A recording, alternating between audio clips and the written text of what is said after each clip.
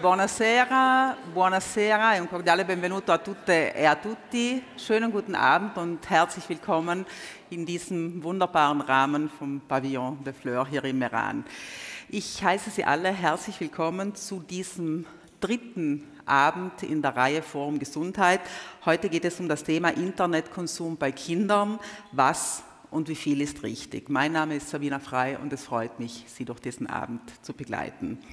Bevor wir nun inhaltlich in das Forum Gesundheit einsteigen, es inhaltlich eröffnen, noch drei organisatorische Hinweise für Sie. Auf Ihren Stühlen finden Sie einen Fragebogen.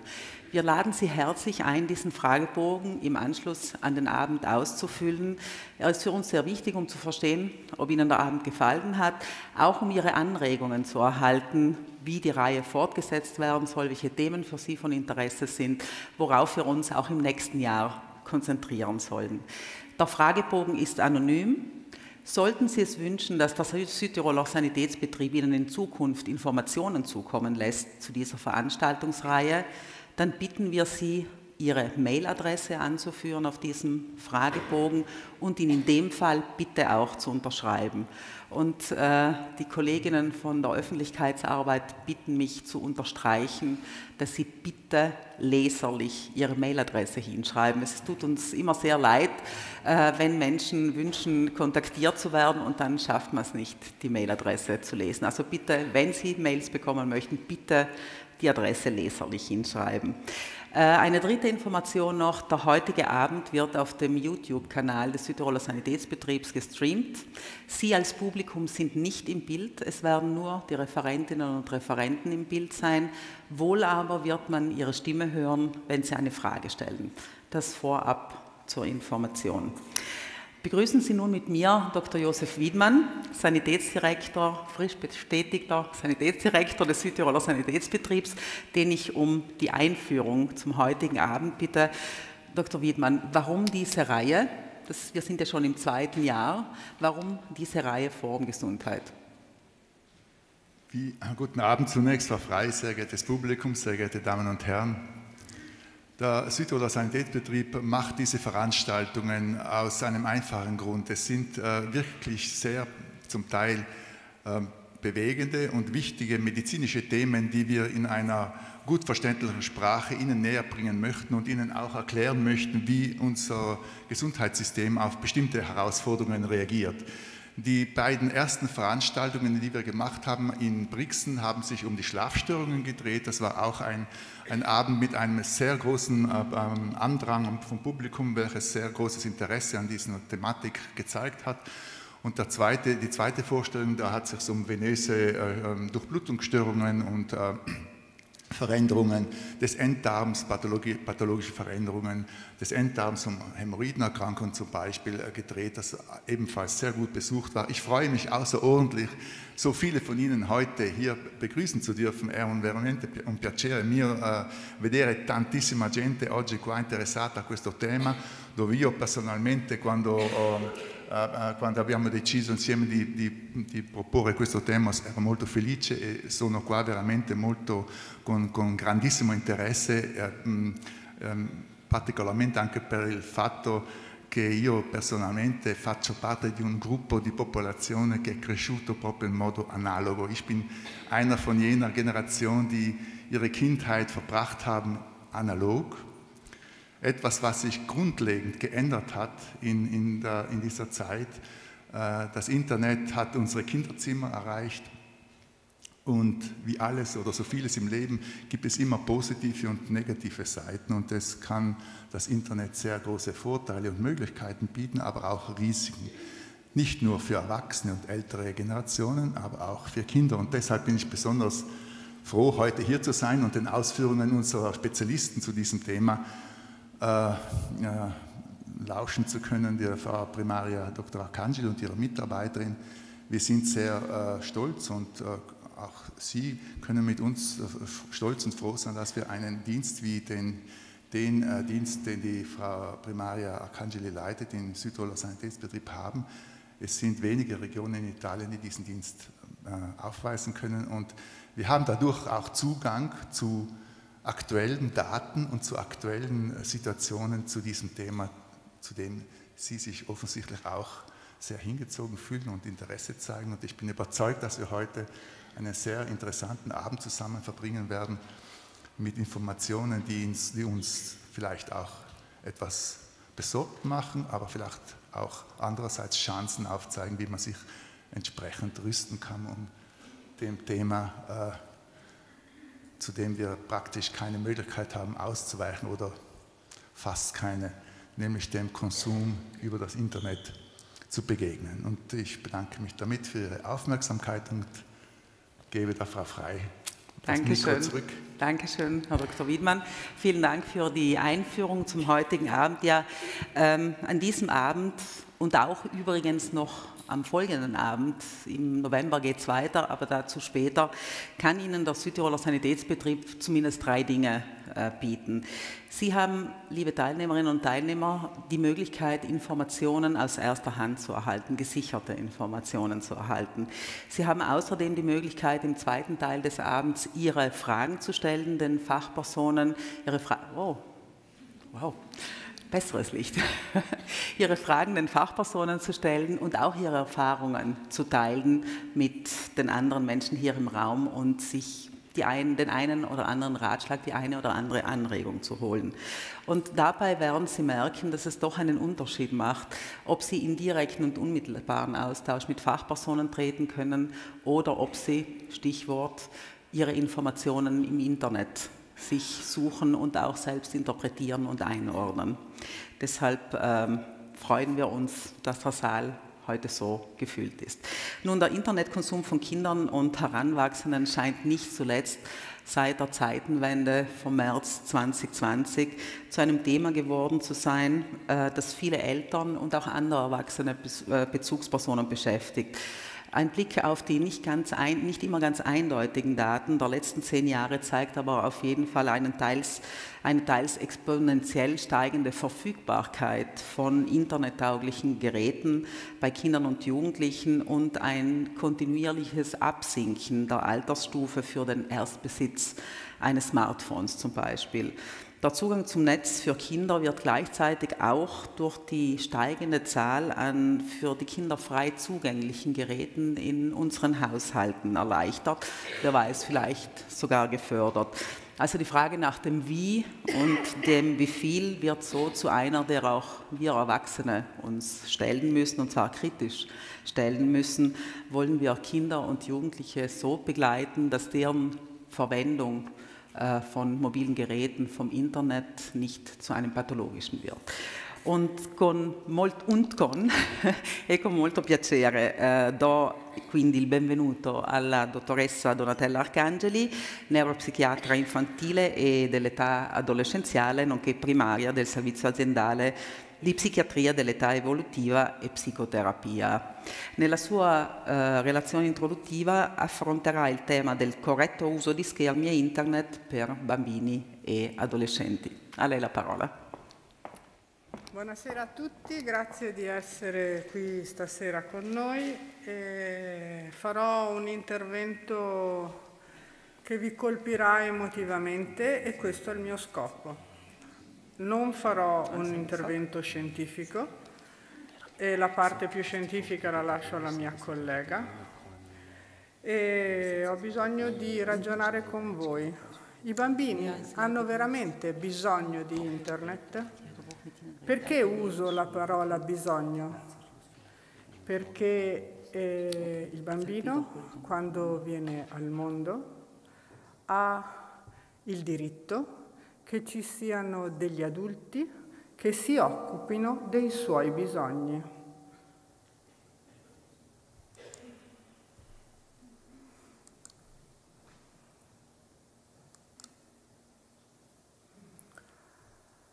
Quali tecnologie sono pericolose? Di cosa ci stiamo eh, occupando?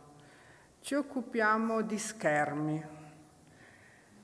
Per schermi intendo televisione, per schermi intendo computer, eh, tablet, cellulare e piattaforme per il gioco, i videogiochi.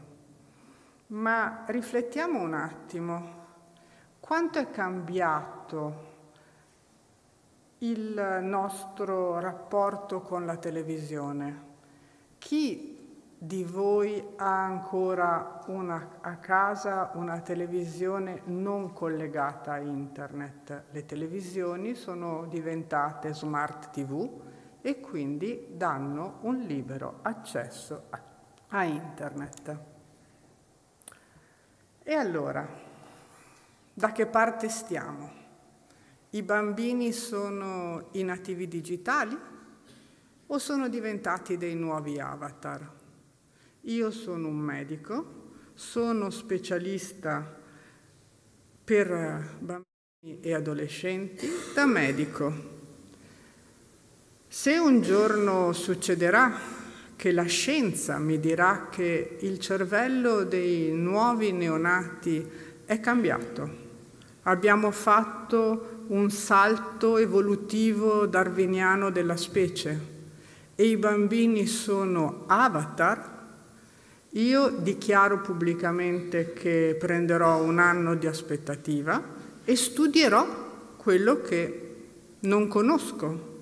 Ma io conosco molto bene i bambini, molto bene, e conosco molto bene come funziona il loro cervello e di cosa ha bisogno il loro cervello per crescere in salute e per farli diventare degli adulti che siano autonomi, che non siano ansiosi, depressi, nervosi, agitati o arrabbiati.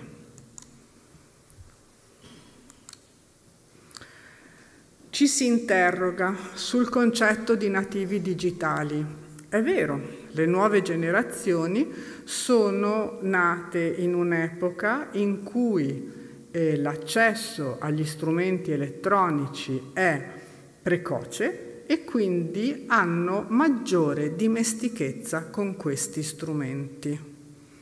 Ma che evidenze abbiamo che arrivati all'età adulta sanno usare internet e gli strumenti digitali meglio di me che ormai faccio parte, non so, dei baby boomer, mi sembra che mi abbiano detto, o in altri termini detti faccio parte dell'epoca dei dinosauri. Essere dei nativi digitali non significa che gli dobbiamo dare lo smartphone in mano, non significa che appena nascono dobbiamo eh, andare in mondovisione per dire a tutti che sono nati, fotografarli, postare le foto, allattare e tenere il cellulare in mano. I cervelli di questi bambini sono cervelli che vanno protetti, protetti perché sono bambini.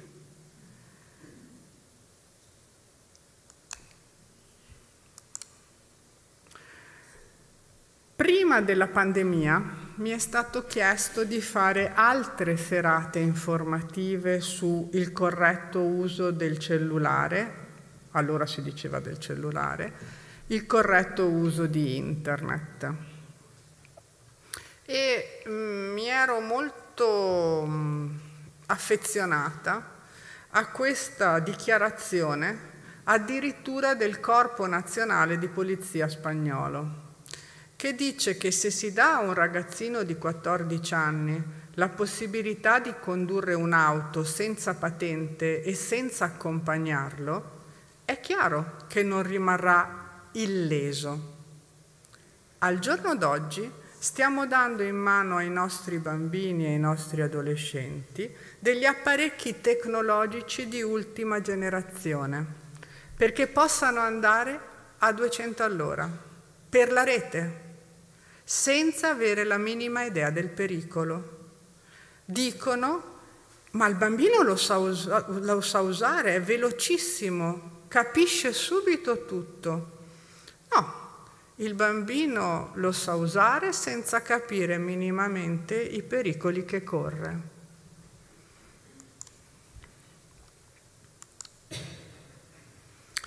E quindi, dai 0 ai 3 anni, è corretto esporre questi bambini all'uso dello smartphone?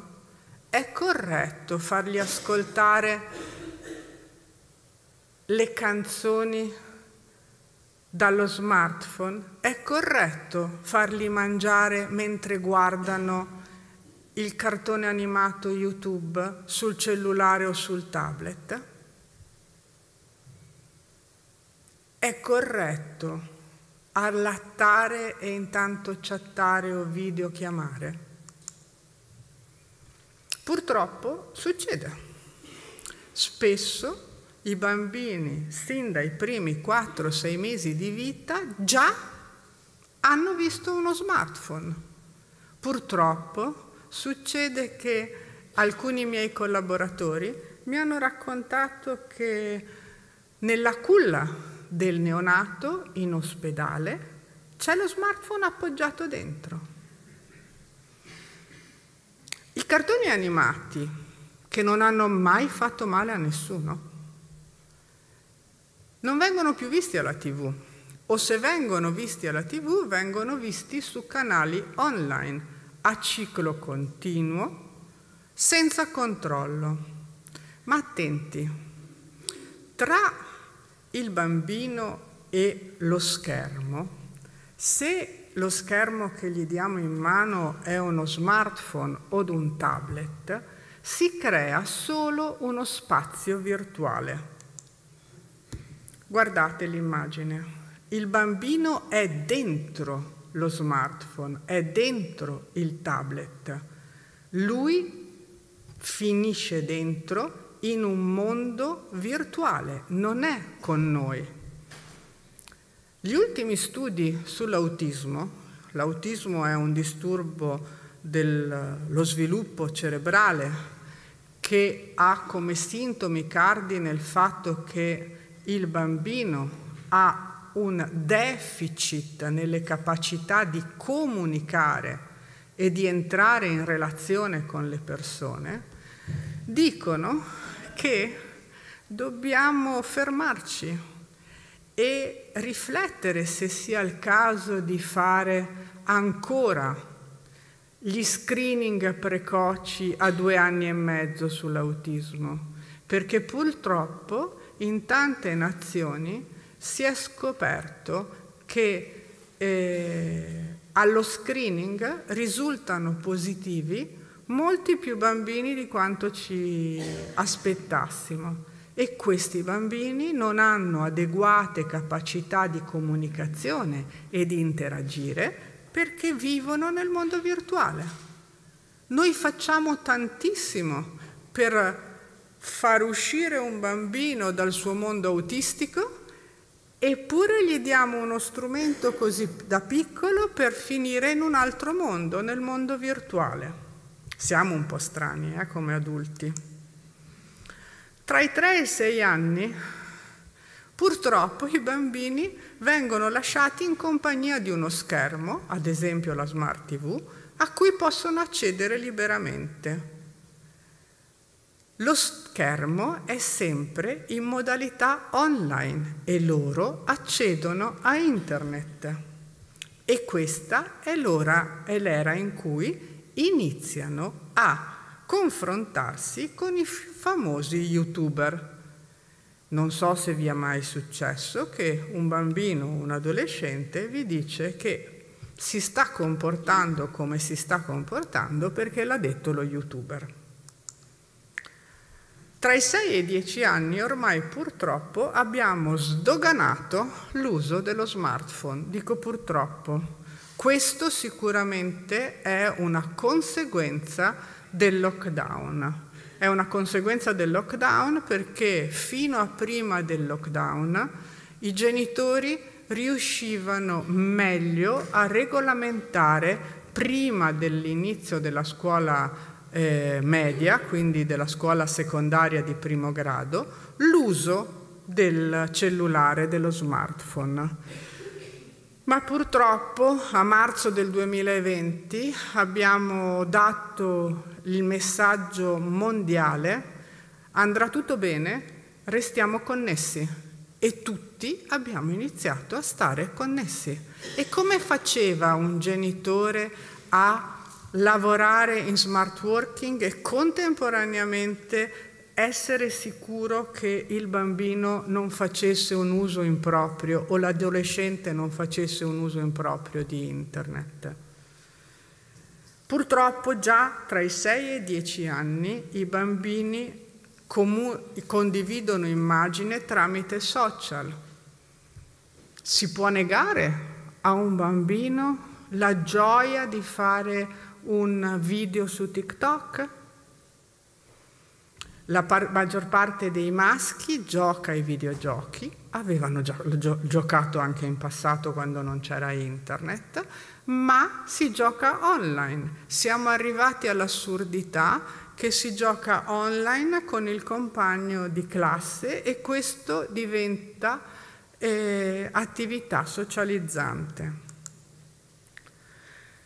Tra gli 11 e i 14 anni siamo nell'età più delicata questa età è l'età in cui il preadolescente inizia a sviluppare la sua identità, a avere bisogno di appartenere al gruppo e per appartenere al gruppo deve per forza eh, appartenere al mondo dei social. Questa è l'età dove la gestione dei conflitti tra genitori e figli sull'uso degli strumenti elettronici è più difficile e rischia di degenerare e creare dei problemi relazionali molto pericolosi. Dopo i 15 anni i discorsi sono diversi, non mi soffermo perché la mia collega si soffermerà su questa fascia di età. Attenti, si può diventare dipendenti da internet? Si può veramente sviluppare una dipendenza? Purtroppo sì. Io oggi parlo da psichiatra infantile e vi dico che ci sono dei soggetti che sono particolarmente a rischio di sviluppare una dipendenza e questi sono i soggetti che hanno una diagnosi di ADHD o di autismo.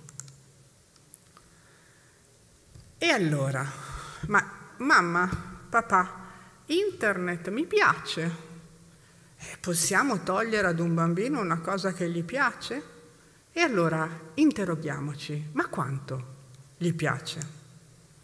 Prima di tutto perché gli piace? Piace perché è veloce, piace perché è colorato, perché è semplice, è divertente, non mi annoia, trovo tutto quello che cerco e quindi poveri genitori, i miei figli sono già grandi per fortuna, non vorrei essere genitore adesso e dovermi confrontare non solo con le divergenze fisiologiche di vedute del mio partner, dell'altro genitore, ma dovermi confrontare con il terzo genitore, molto molto scomodo perché dice sempre di sì e sa sempre come educare, che è internet.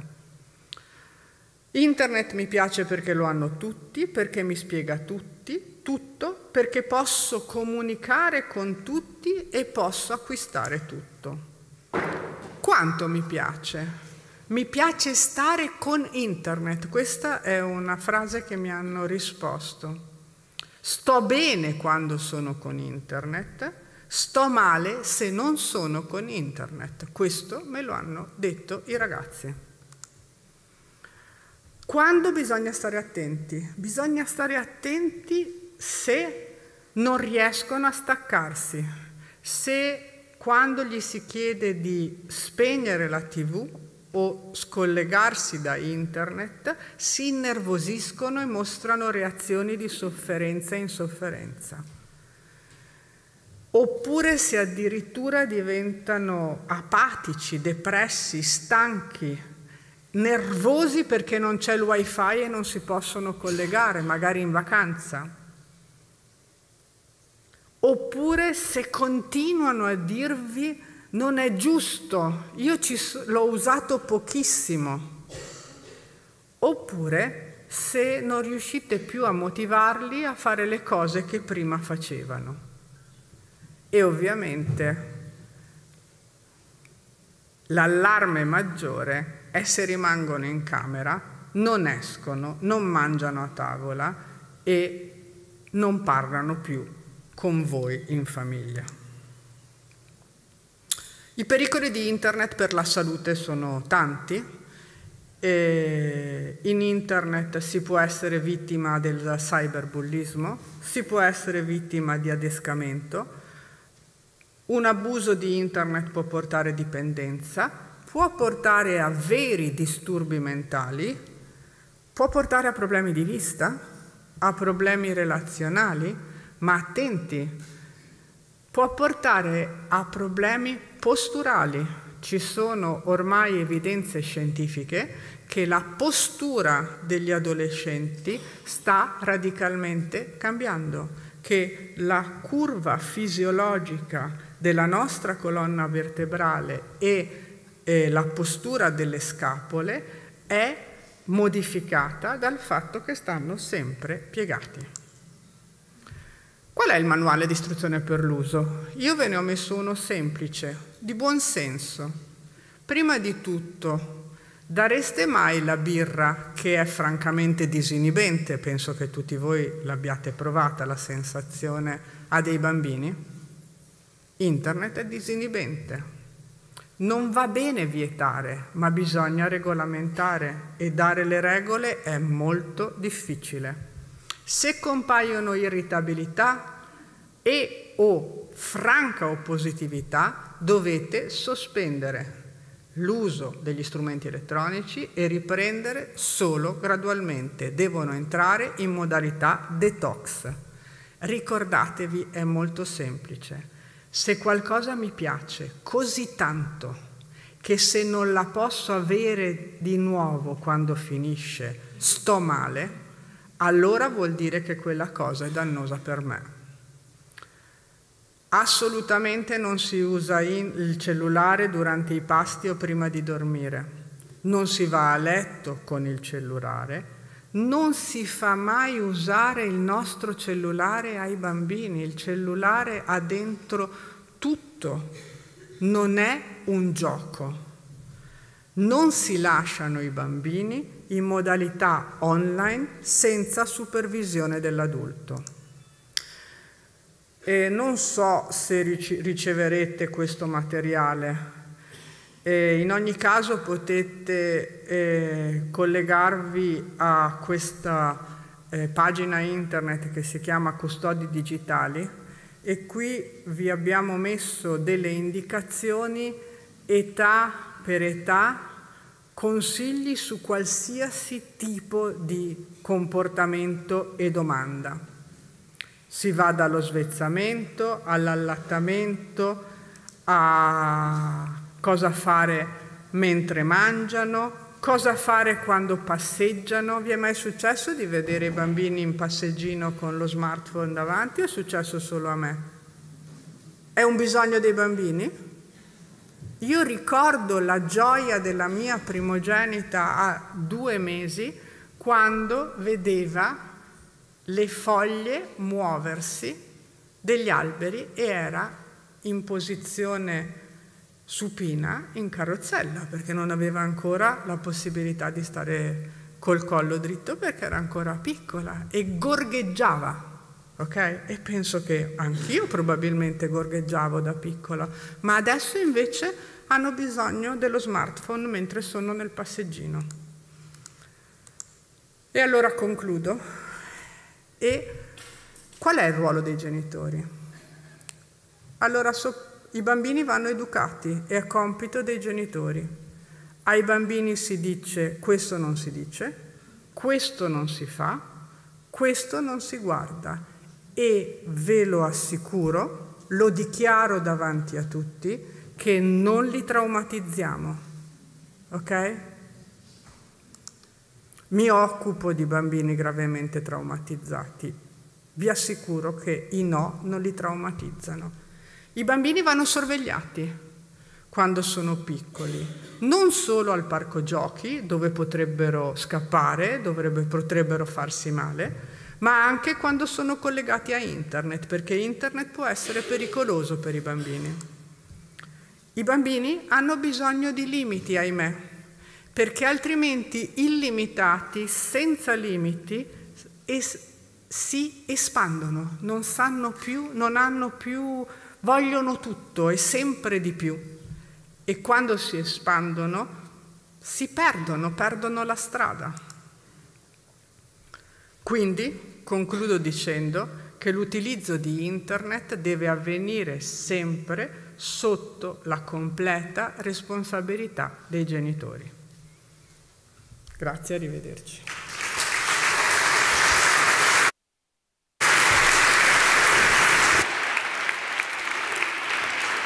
Grazie. Grazie dottoressa Arcangeli eh, per la sua introduzione a questo tema, ecco la responsabilità dei genitori, penso che questo sia un fattore centrale. Eh, vi, vi, annuncio una cosa che mi è stata appena detta e riferita allo streaming eh, della serata di oggi. Non abbiamo solo lo streaming, ma ci sarà la registrazione poi disponibile per tutte e per tutti qualora volete rivedere quello che avete appena sentito. Ich hänge noch eine Information an, die ich am Anfang vergessen habe. Falls jemand von Ihnen äh, noch die Kopfhörer braucht für die Simultanübersetzung, es sind noch welche verfügbar, bitte, äh, Sie können es sich gern holen gehen, damit alles gut für Sie verständlich ist. Bene, Occupiamoci ora di dipendenza da internet e ritiro sociale, causa o conseguenza. Ce ne parlerà la dottoressa Benedetta Berlese, neuropsichiatra infantile e dell'età adolescenziale e responsabile del servizio riabilitativo dell'età evolutiva del comprensorio di Merano. Prego, a lei la parola. È bello vedervi così numerosi stasera, effettivamente l'argomento sembra interessare a tanti. E come diceva la dottoressa Arcangeli, io adesso sarò forse un pochino più tecnica, spero di non essere troppo complicata, ma vorrei darvi delle informazioni scientifiche su cui poi basare le decisioni che vengono prese. E sui bambini è più semplice dare regole chiare, dire si fa così o no, è una fascia di età in cui questo ancora ci riesce. Con gli adolescenti non sempre è possibile, soprattutto se non siamo modelli autorevoli, quindi se non diamo noi il buon esempio e se non sappiamo perché stiamo dando quella regola. Quindi partiamo un po' intanto dai termini, parliamo di dipendenza.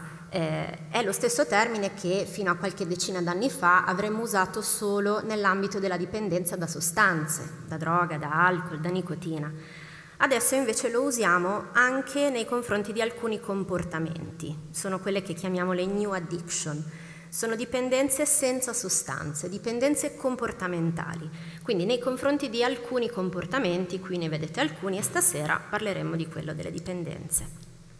Che cosa hanno in comune quindi queste dipendenze comportamentali e le dipendenze da sostanze?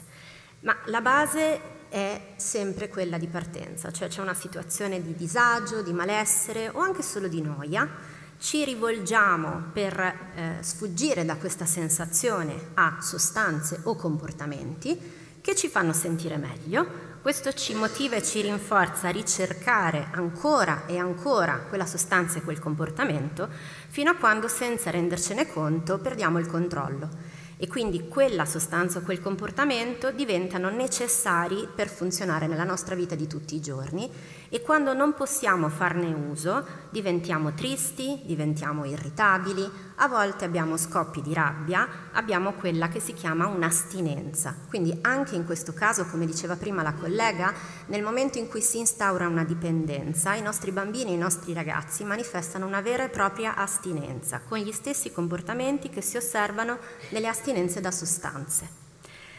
Questo perché? Per farla molto molto semplice, la colpevole è la dopamina. La dopamina è un neurotrasmettitore che è presente nella nostra testa, che ha tante funzioni, in particolare è coinvolta nel circuito del piacere, diciamo così. Quindi quando noi facciamo qualcosa di piacevole, scarichiamo questa dopamina nel nostro cervello.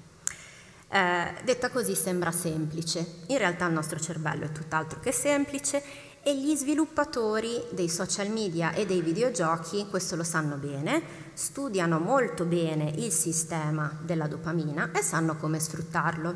Vi faccio degli esempi. Eh, allora, prendiamo eh, le slot machine. Noi sappiamo tutti che quando si tira la leva, una volta si vince, ma qualche volta si perde.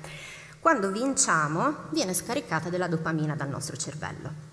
Quando invece perdiamo cosa succede? Che c'è quella tensione, quell'istinto, quella spinta a continuare a tirare la leva fino a che finalmente si vince. Ebbene, la scarica di dopamina che noi riceviamo quando in maniera variabile riceviamo una ricompensa è maggiore di quando invece il premio, la ricompensa ce l'abbiamo sempre. Provo a farvi l'esempio invece con i videogiochi, così lo capite bene. Se ad ogni livello che io vinco ricevo una ricompensa, ricevo 5 gettoni d'oro, scarico un pochino di dopamina. Se invece il sistema è studiato per fare in modo che questa ricompensa non sia costante ma sia casuale e quindi a volte alla fine del mio livello non riceverò nessuna ricompensa, la spinta che io ho a continuare a giocare è molto maggiore anche perché quando poi finalmente otterrò il mio premio, il rinforzo anche dopaminergico sarà molto maggiore. È così che funzionano la maggior parte dei videogiochi dei nostri ragazzi. Ed è così che funziona anche un po' il sistema dei social media. Per cui, per esempio, quando noi eh, riceviamo un like ad una storia, a qualcosa che abbiamo creato come contenuto, questo ci porta a ricevere di nuovo una scarica dopaminergica ma non sempre quando il nostro cellulare si illumina o vibra è per un like. Quindi di nuovo sentiamo questo forte impulso a continuare a guardare il telefono, a fare lo scrolling, a vedere se qualcuno ci ha scritto qualcosa, ci ha messo un like e quando finalmente succede siamo molto rinforzati. Quindi i social media, le app, i videogiochi sono stati creati appositamente per indurci la dipendenza ma non perché sono tutti brutti e cattivi, ma perché è il loro lavoro. Il loro lavoro è quello di cercare di fare in modo che noi si utilizzi per maggior tempo possibile queste, eh, tutti questi dispositivi. E quindi usano quello che è il nostro meccanismo di base neuropsicologico per riuscire a fare in modo di ottenere questo risultato. In più, il cervello adolescente è particolarmente fragile allo sviluppo delle dipendenze. Perché? Allora, qui vedete delle immagini, forse sono un po' sgranate, ma si dovrebbe vedere come il cervello eh, si evolve, continua a maturare fino all'età adulta. In particolare le aree frontali, quindi le zone davanti del nostro cervello, continuano a farlo fino anche oltre i 20 anni, eh, in alcuni addirittura fino ai 30. E le aree frontali sono quelle che sono responsabili delle nostre funzioni esecutive, che sono quelle che ci danno la possibilità di controllare gli impulsi, di prendere decisioni pensando ai pro e ai contro, di controllare un'azione pensando prima alle conseguenze, di pianificare le priorità, che cosa è più importante, che cosa posso fare dopo, l'empatia verso gli altri, il capire perché una persona reagisce in un modo e calcolare anche i bisogni dell'altro. Capite che sono tutte funzioni che nei nostri ragazzi adolescenti sono un pochino carenti e questa è la ragione. Quindi c'è una ragione scientifica per cui gli adolescenti hanno un po' l'età della stupidera, è proprio una fascia di età in cui eh, fanno fatica appunto a ragionare. Inoltre, sempre in questa fascia di età, c'è una zona che invece funziona a palla, funziona tantissimo e funziona molto bene, che è quella in viola, è il circuito limbico, che invece è mh, correlato all'aspetto emotivo, alle emozioni. Quindi è la ragione per cui i nostri ragazzi vivono costantemente in queste montagne russe emotive, sono presi da intensa rabbia, intensa felicità, tutto è intenso e quindi cosa succede? Che l'azione è molto più veloce del pensiero. Abbiamo una specie di cervello emotivo che non si fa guidare dalla razionalità, ma funziona soprattutto seguendo la gratificazione immediata. Quindi capite come questo li rende molto più fragili di fronte allo svilupparsi di una dipendenza. Proviamo quindi a definire un po' i numeri. Allora, questo è, ormai quasi vecchiotto perché è del 2022, però ci dà un po' eh, un'idea eh, non solo appunto dello sviluppo della dipendenza di per sé, ma anche della percentuale di ragazzi che hanno comportamenti problematici, che quindi sono a rischio di sviluppare una dipendenza. Um, in questo caso vedete come in alto c'è l'uso problematico dei social media e eh, vi ho eh, riquadrato soprattutto quella che è la fascia di età e il sesso che è un pochino più a rischio sono le femmine maggiormente coinvolte in questo eh, tipo di comportamento problematico e 20% vi ricordo che significa 2 su 10, quindi in una classe di 20 persone vuol dire che 4 ragazze verso i 13 anni sono a rischio di sviluppare una vera e propria dipendenza. Eh, sotto vedete invece l'uso problematico dei videogiochi, è una difficoltà che riguarda soprattutto invece i maschi, non esclusivamente ma soprattutto, e già in una fascia di età molto precoce, perché vedete che il 27%, cioè quasi 3 ragazzi su 10, hanno un eh, rischio effettivo di sviluppare una dipendenza da videogiochi già a 11 anni e sotto vedete come un alto numero di ragazzi già a 11 anni dichiara di utilizzare i videogiochi per più di 4 ore al giorno e se ci pensate, tolta la scuola, tolta la cena, tolta se qualcuno ancora le fa le attività ricreative, sono davvero tante, vuol dire tutto il loro tempo libero. Quindi a che cosa stare attenti per capire quando i ragazzi sono a rischio di sviluppare una vera e propria dipendenza? Alcune cose le ha già dette la dottoressa Arcangeli, quindi il fatto di non dedicarsi più alle attività che prima erano per loro gradevoli, uno sport, suonare lo strumento, ma anche banalmente uscire con gli amici, leggere un libro, eh, anche i pasti in famiglia vengono sacrificati. No, no, mamma, ho già mangiato a pranzo a scuola tanto, in realtà voglio solo finire il livello, il famoso premio che, che devo andarmi a prendere, quindi rinuncio anche alla cena. Il calo del rendimento scolastico è una eh, ovvia conseguenza del fatto che se io uso tutto il mio pomeriggio per stare sui videogiochi, sui social media, non ho il tempo fisico di dedicarmi anche allo studio. I conflitti sono eh, sicuramente un elemento che preoccupa molto i genitori e possono assumere anche intensità tali da portarli a richiedere il nostro aiuto anche proprio in neuropsichiatria, per cui spesso i ragazzi quando cerchiamo di dare dei confini anche proprio di tempo nell'utilizzo dei dispositivi diventano francamente aggressivi. E poi il sonno. Eh, c'è eh, una eh, continua e allarmante diminuzione della quantità e della qualità del sonno dei bambini e dei ragazzi eh, a partire dai primi anni del 2010 in poi, che è effettivamente molto molto preoccupante.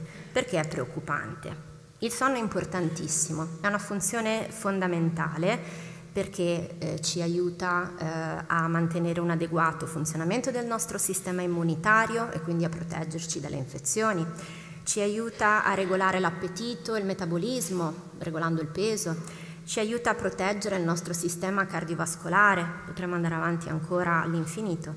Eh, è sicuramente d'aiuto ad avere un'adeguata memoria e concentrazione, ma anche e soprattutto per l'argomento di stasera è un importantissimo fattore protettivo per la nostra salute mentale. Quindi avere un sonno di qualità ci protegge dallo sviluppo di patologie o problematiche psicopatologiche, viceversa avere un sonno disturbato ci mette a rischio di sviluppare patologie psichiatriche. Quante sono le ore che dovrebbero dormire i nostri ragazzi? A spanne stiamo parlando di adolescenti circa 8 ore, ognuno faccia il calcolo dei suoi e preoccupatevi. Eh, come viene regolato il sonno?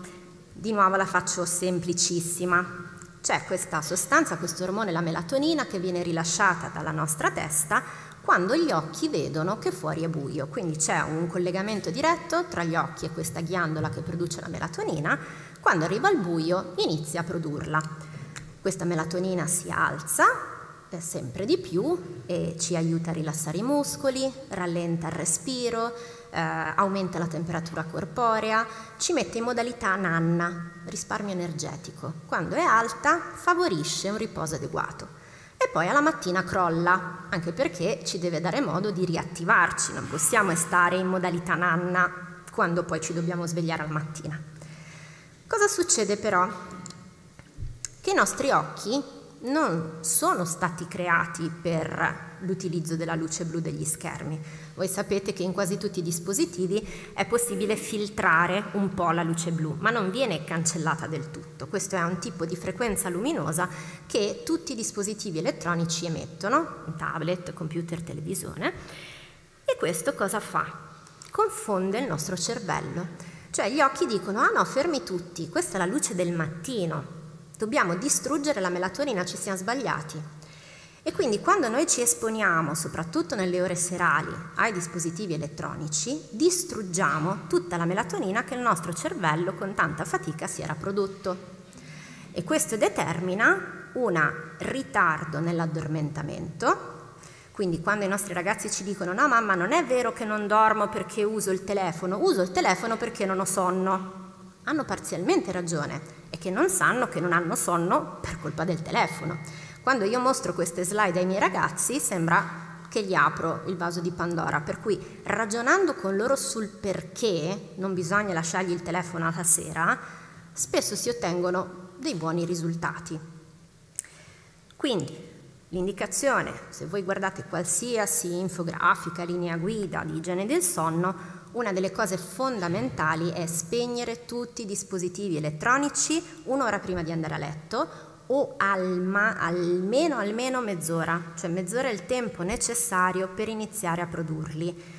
E questo però non vale solo per i nostri ragazzi, vale anche per noi e quindi di nuovo per essere autorevoli è importante che siamo i primi modelli di quello che diciamo. Quindi veniamo un po' alla eh, domanda del titolo. Ma la dipendenza da internet ha una relazione quindi con il ritiro sociale? Allora dipende anche da che cosa intendiamo per ritiro sociale. Ci siamo detti prima che se un ragazzo utilizza in maniera non più controllata eh, i dispositivi elettronici, rinuncia a tutta una serie di attività perché preferisce stare sui dispositivi. Quando poi si crea una vera e propria dipendenza non riesce più a staccarsi da questi e quindi sì, si ritira da quelle che sono le sue occasioni di socialità. Se in più anche abbiamo una diminuzione nella qualità del suo sonno, è molto probabile che possa sviluppare poi appunto delle problematiche psicopatologiche, ansia, depressione e anche queste hanno tra i loro sintomi il fatto che i ragazzi tendono a ritirarsi e non frequentano più la socialità degli altri come facevano prima. Quindi sì, in linea generale possiamo dire che la dipendenza da internet causa il ritiro sociale. Vorrei però citare una situazione particolare eh, che invece è, diciamo, eh, ha una partenza diversa, quindi c'è una piccola percentuale di ragazzi all'interno di questi ritirati sociali, in genere sono maschi, statisticamente ci dice la ricerca, eh, in cui questo ritiro, questo isolamento sociale nasce eh, inizialmente su un'altra base, quindi nasce su una base di vergogna, su una base di difficoltà a reggere il confronto con gli altri, eh, su una bassa autostima eh, e su questo sicuramente il ruolo dei media è comunque importante, come i media ci propongono, il tipo di modello che propongono i media eh, tante volte crea difficoltà, soprattutto nei ragazzi più fragili, nel confronto con gli altri. E quindi questi ragazzi gradualmente si ritirano dalla vita sociale al punto tale però che rimangono intrappolati, bloccati nelle proprie camere. Quindi non stiamo più parlando di ragazzi che sì vanno a scuola ma appena possono corrono a casa a giocare. Stiamo parlando di ragazzi che proprio non escono più, non vanno più a scuola, non frequentano il lavoro, non escono dalla propria stanza, il confronto con gli altri gli pesa terribilmente, per cui si ritirano del tutto. Trascorrono tutto il tempo nelle loro camere e ovviamente in questo posto l'unica cosa che possono fare è utilizzare internet. Nella maggior parte dei casi utilizzano maggiormente i videogiochi, non tanto i social media, perché abbiamo detto rifuggono quello che è il contatto sociale e quindi anche l'interazione sociale mediata dai social media non è una cosa che riesce a loro facile, magari guardano i video su YouTube ma non scrivono nelle chat. Eh, e quindi ecco che si instaura una dipendenza che in questo caso di fatto è una conseguenza. Quindi loro si ritirano per altre ragioni, restano bloccati in queste camere, sviluppano una dipendenza. In questi casi il fatto di privare i ragazzi di internet eh, di fatto li priva dell'unico contatto che hanno col mondo esterno, quindi non sempre è una vera soluzione. Eh, questo per dire che spesso le cose sono molto più complicate ed è difficile dare delle linee generali. La cosa importante nel momento in cui ci si ritrova di fronte a una situazione difficile è quella di chiedere aiuto, chiedere aiuto agli specialisti che vi possano aiutare a comprendere meglio quali sono le cause alla base delle difficoltà dei ragazzi e vi aiutano a trovare le strategie più adeguate per quella specifica situazione. E quindi eh, veniamo un po' al cosa fare, qual è il ruolo dei genitori.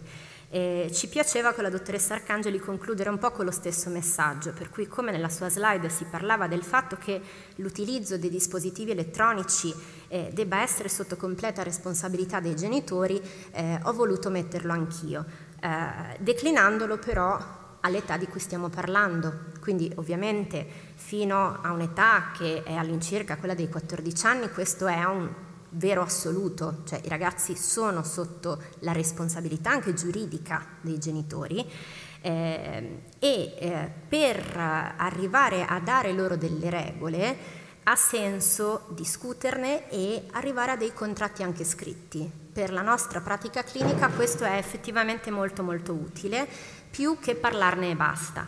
Quindi il fatto di sedersi, discutere con i ragazzi, spiegare il perché diamo certe regole, essere esempi noi stessi delle regole che diamo. Io qui vi ho messo un esempio, eh, questo lo, ve l'ho messo più che altro perché c'è anche in formato Word, quindi è editabile, ognuno può usarlo come base per poi modificarlo in base alle necessità della propria famiglia.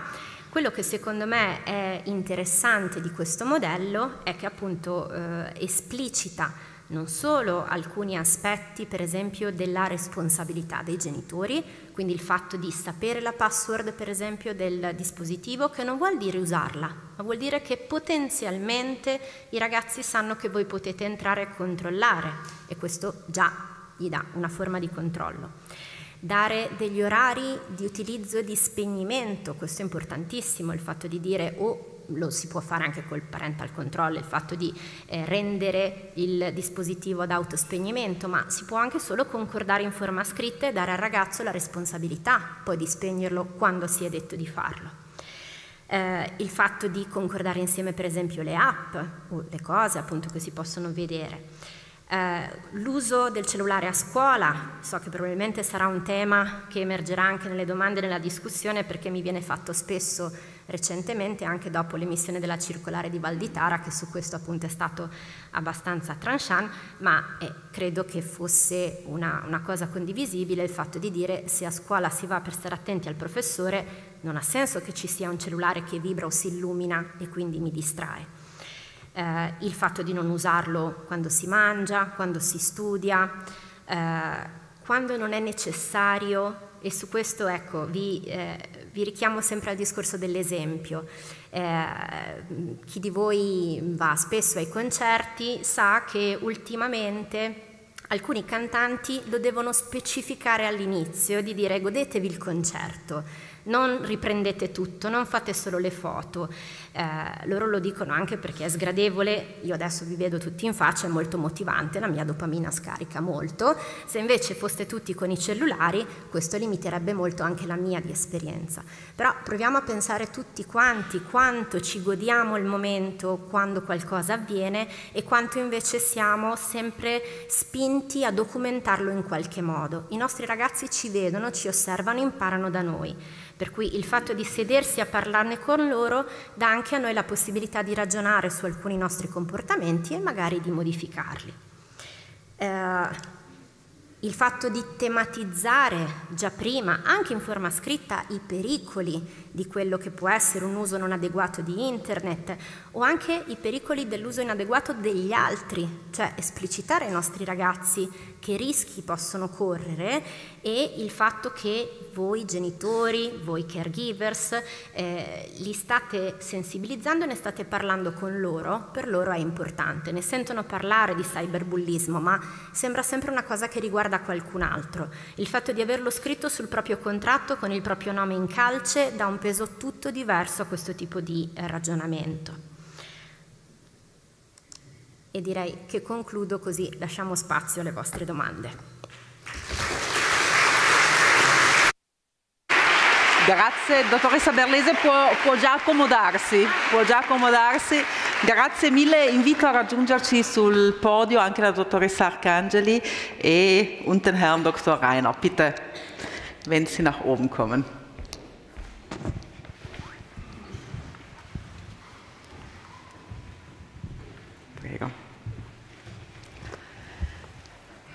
Ja, das war das Mikro, Dr. Reiner. In die Hand nehmen, nicht draufsetzen, super. Das war sehr gut versteckt.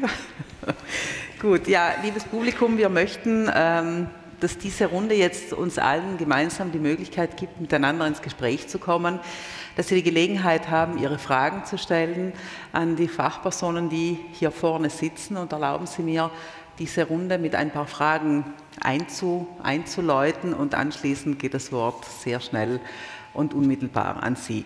Ich darf Dr. Michael Reiner herzlich in unserer Runde begrüßen. Er leitet die Abteilung Beratung und Information beim Südtiroler Jugendring und zeichnet auch für die Jugendberatungsstelle Young and Direct verantwortlich. Dr. Reiner, in unserem Vorgespräch haben Sie mir gesagt, dass es beim Thema Internetkonsum von Jugendlichen vielleicht noch stärker zu differenzieren und, und sehr genau hinzuschauen gilt. Äh, will man einen potenziell äh, pathologischen Umgang mit dem Internet auf der einen Seite von einem unbedenklichen auf der anderen Seite unterscheiden und allem dem, was eben dazwischen, dazwischen drinnen liegt. Äh, wo sehen Sie denn hier die größte Herausforderung? Ich denke, also grundsätzlich muss man eben vom Alter her äh, hinschauen, wie die zwei Fachärzte natürlich schön, äh, schön angeführt haben, äh, gibt es da natürlich große Unterschiede in der Handhabung. Ähm, wir als Jugendberatungsstelle haben in erster Linie mit Jugendlichen zu tun, also so 11 plus. Ähm, und da merkt man halt, dass es praktisch mittlerweile eben, äh, so wie schon auf, aufgezeigt, sehr viele potenzielle äh, Gefahren gibt, also was man entwickeln kann. Wir erleben jetzt etwas, und das würde ich gerne noch dieser sehr, leider sehr langen Liste noch hinzufügen. Also wir haben es ja als, als Dienst nicht wirklich mit mm, ausgeprägten Pathologien zu tun, sondern eben noch Schritte davor.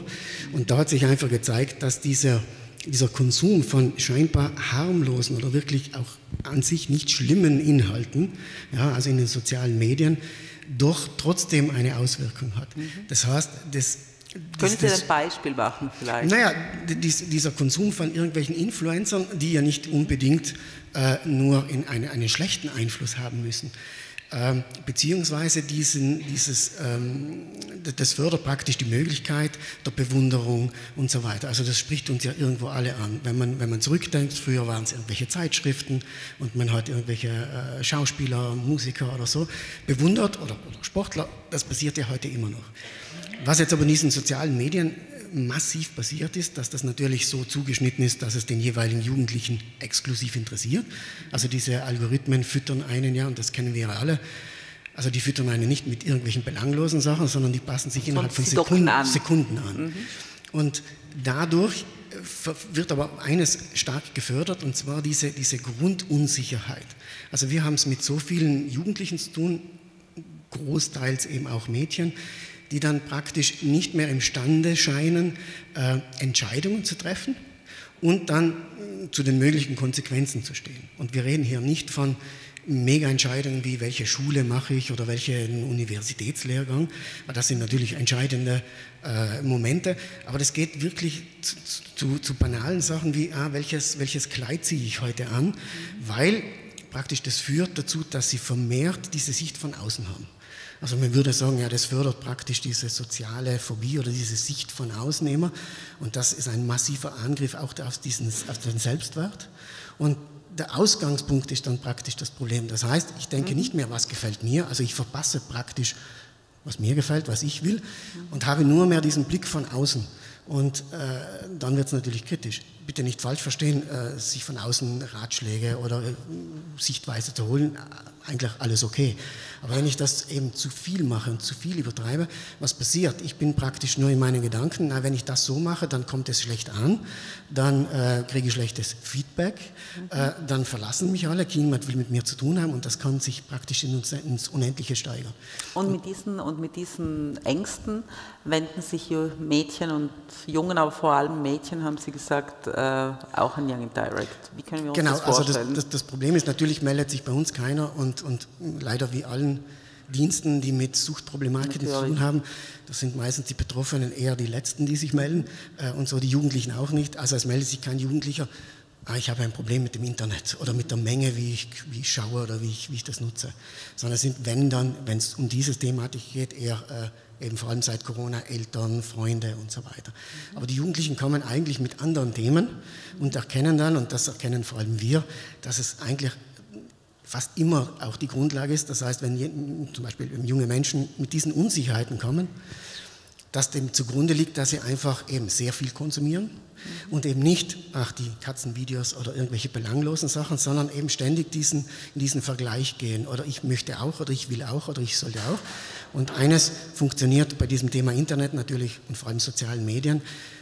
Und teilweise stimmt es ja auch, dass es praktisch für jeden irgendwo möglich ist, äh, Erfolg zu haben, äh, bekannt zu werden, berühmt zu werden. Und wenn wir ganz ehrlich sein, naja, wer würde das zum Teil eben vielleicht nicht gerne auch haben? Mhm. Er hat vielleicht nicht diesen Bekanntheitsgrad, weil der würde uns Erwachsenen vielleicht eher abschrecken. Aber die Jugendlichen sehen da grundsätzlich ja nichts Schlechtes, sondern eher was Positives. Und das geht dann eben meistens weiter. Mhm, Dr. Rainer, über welche Kanäle wenden sich die Jugendlichen an Young Direct? Es gibt ja drei, soweit ich weiß, aber was ist auch am häufigsten? Oder vielleicht die vier? Ja, eigentlich gibt es noch mehr, aber jetzt ähm, schmunzle ich schon, weil häufigste also Zugangsart ja. ist natürlich die digitale Form.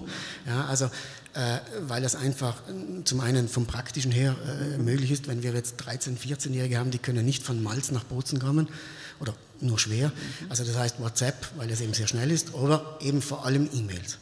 Also das heißt, wir haben es jetzt mittlerweile eher mit der, mit der Altersgruppe 15 bis 20 zu tun mhm. und die tendenziell schreiben dann eher auch über die E-Mails, weil es zum einen zwar sehr schnell geht, aber diese Hemmschwelle noch etwas niedriger ist, wie zum mhm. Beispiel beim Telefonieren, das ist ja. für viele schon oft zu viel. Gerade daran, auch für Jugendliche jetzt, ähm, wie kann ich sagen, out, also telefonieren geht gar nicht meistens? Nicht alle, ja. aber manche sagen, na, es fällt einfach leichter. Ja. Und ich muss gestehen, mir zum Teil fällt es auch leichter, schnell eine E-Mail zu schreiben, mhm. als jetzt anrufen und diskutieren und reden. Was eigentlich absurd ist, weil das, was wir äh, sonst in einem Gespräch innerhalb von wenigen Sekunden machen könnten, tippen wir immer fleißig oder genau. schreiben Nachrichten und so weiter. Mhm. Also, aber aus unserer Sicht ist es natürlich notwendig, dass wir möglichst Kanäle anbieten, die die Jugendlichen nutzen können. Weil es nutzt mir nicht, wenn ich sage, na natürlich äh, als Dienst, na, ihr müsst vorbeikommen oder nur diese Methoden sind dann für uns hilfreich. Wir sehen es eher so, na, natürlich müssen wir auf sie zugehen. Sie gehen sozusagen in Teufelsküche hinein, um dort, ja, um dort präsent zu sein. Danke, Dr. Reiner. Ähm, ich glaube, die Fragen sind viele, die im Raum sind und ich will Ihnen nicht die wertvolle Zeit stehlen ich, ja, die Eisbrecherin ist schon hier. Eine Sekunde bitte, äh, es kommt jemand mit einem Mikrofon zu Ihnen. Ich möchte Sie nochmal daran erinnern, ricordo a tutte e a tutti che siamo in streaming, che eh, sarà registrata tutta la serata e vi chiederei per motivi di privacy, però poi ovviamente decidete voi di non dire il vostro nome, ma soprattutto di non, di non fare nomi di altri. Bitte, Kern, prego. Eh, buonasera, parlo in italiano perché avete... Sie können auch die Fragen auf Deutsch stellen, auf Italienisch, es passt stesso, avete fatto un bellissimo mh, mm, resoconto di quello che... E vengo e parlo come mamma di tre figli, eh, alle elementari, alle medie e alle superiori e anche come insegnante della scuola primaria. E la stessa cosa che avete detto voi è successa da noi a scuola, dopo il Covid, con il PNRR eh, e io mi trovo adesso in una situazione, ehm, quello che avete do- detto voi non rispecchia quello che dobbiamo fare noi a scuola. Eh, cioè abbiamo una scuola in cui viene investito molto sul digitale, si parla di transizione digitale da anni, si parla di eh, obbligo a a fare determinate ehm, formazioni sul digitale che non possiamo scegliere noi, cioè noi abbiamo formazioni su visori, su lavagne digitali, eh, su uso di Canva, mh, mm, abbiamo wifi a scuola, abbiamo tablet a scuola. Ora eh, mio figlio anche alle elementari eh, fanno il PowerPoint, le ricerche le fanno su internet, certo mi dicono, gli facciamo vedere quali sono i siti da usare su internet, ma io mi chiedo, eh, è necessario che ad un'età evolutiva in cui c'è il, processo di apprendimento manuale, scrittura, eh, interpersonale, eccetera, funzioni in questo modo e sia obbligatorio a scuola perché dobbiamo dare anche il voto nel digitale.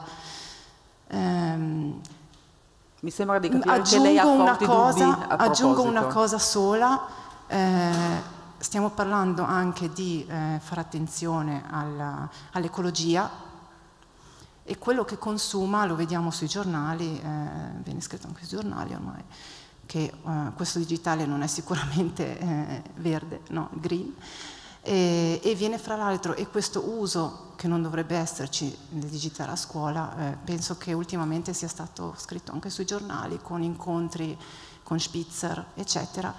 Eh, io mi ritrovo sinceramente in una situazione sia come mamma che come, insegnante, come insegnante a non sapere come gestire, gestire perché è una cosa situazione. imposta. Grazie, grazie di questa domanda che passo subito. C'è molto consenso. La dopamina, la dopamina. Eh, passo la domanda volentieri alla dottoressa Arcangeli rispetto a questa cosa. Ecco, quanto, quanto, internet anche nel contesto scolastico? Sappiamo che paesi come la Svezia hanno ridotto drasticamente eh, l'uso delle tecnologie a scuola eh, qual è la sua posizione a proposito? Ma allora, ehm, il solo fatto che stasera siamo in così tanti mostra che eh, finalmente sta cambiando qualcosa, mm-hmm. ok? Perché questi discorsi li facevo tali e quali tre anni fa e quando il dottor Widman mi ha sentito la prima volta mi ha anche detto, ma sei sicura di non, essere, di non fare allarmismo? E state certi che se parlo, parlo per ragion veduta. Allora io posso dire che come conseguenza eh, di questo fenomeno, cioè del massiccio sdoganamento di internet nella nostra società, nelle nostre vite, nell'infanzia nell'adolescenza, Penso eh, oggi che posso dire che siamo arrivati alla spizze. Tutto quello che noi clinici, che facciamo urgenze psichiatriche, potevamo vedere, penso che l'abbiamo visto. E ovviamente non è oggetto di questa serata perché eh, questa è la conseguenza estrema e quindi entriamo nella patologia. Stasera parliamo della fisiologia e quindi questa, la nostra società non era pronta, ma non era pronta la società dell'Italia, dell'Alto Adige, è tutto il mondo che non era pronto alle conseguenze del, di internet nella nostra vita. E quindi a lei rispondo che non c'è ancora il tempo per fare interventi sincroni, siamo tutti asincroni, ok?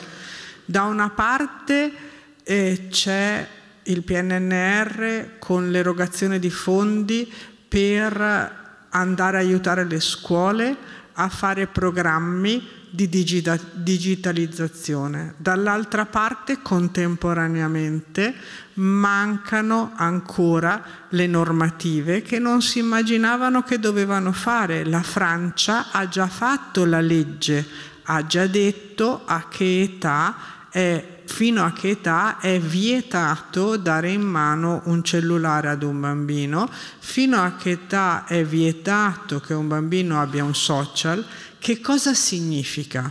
Che ci saranno i vigili che fermano per strada eh, un genitore o che vanno in casa a vedere se veramente i loro figli hanno un cellulare o uno smartphone. Non succederà questo, no? Non diventeremo una società di polizia, ma pian piano cresceremo. Cioè dovete immaginarvi che adesso finalmente il processo è iniziato, finalmente ne iniziamo a parlare. Quanti anni ci abbiamo messo per fare la normativa contro il fumo?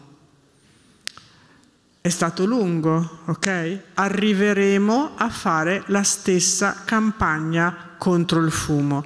E per quanto riguardo, riguarda lei nella sua ovviamente ruolo di doppio ruolo insegnante e genitore, Adesso le ripasso il, il microfono perché non, non, da lontano non capisco cosa mi voglia dire. Eh, lo capiamo benissimo che eh, è difficile per le scuole, ma in questo momento senza una normativa noi non sappiamo come aiutare le scuole. Noi, io sono anni che dico che il cellulare non va portato a scuola. Sa quanti dirigenti mi hanno risposto?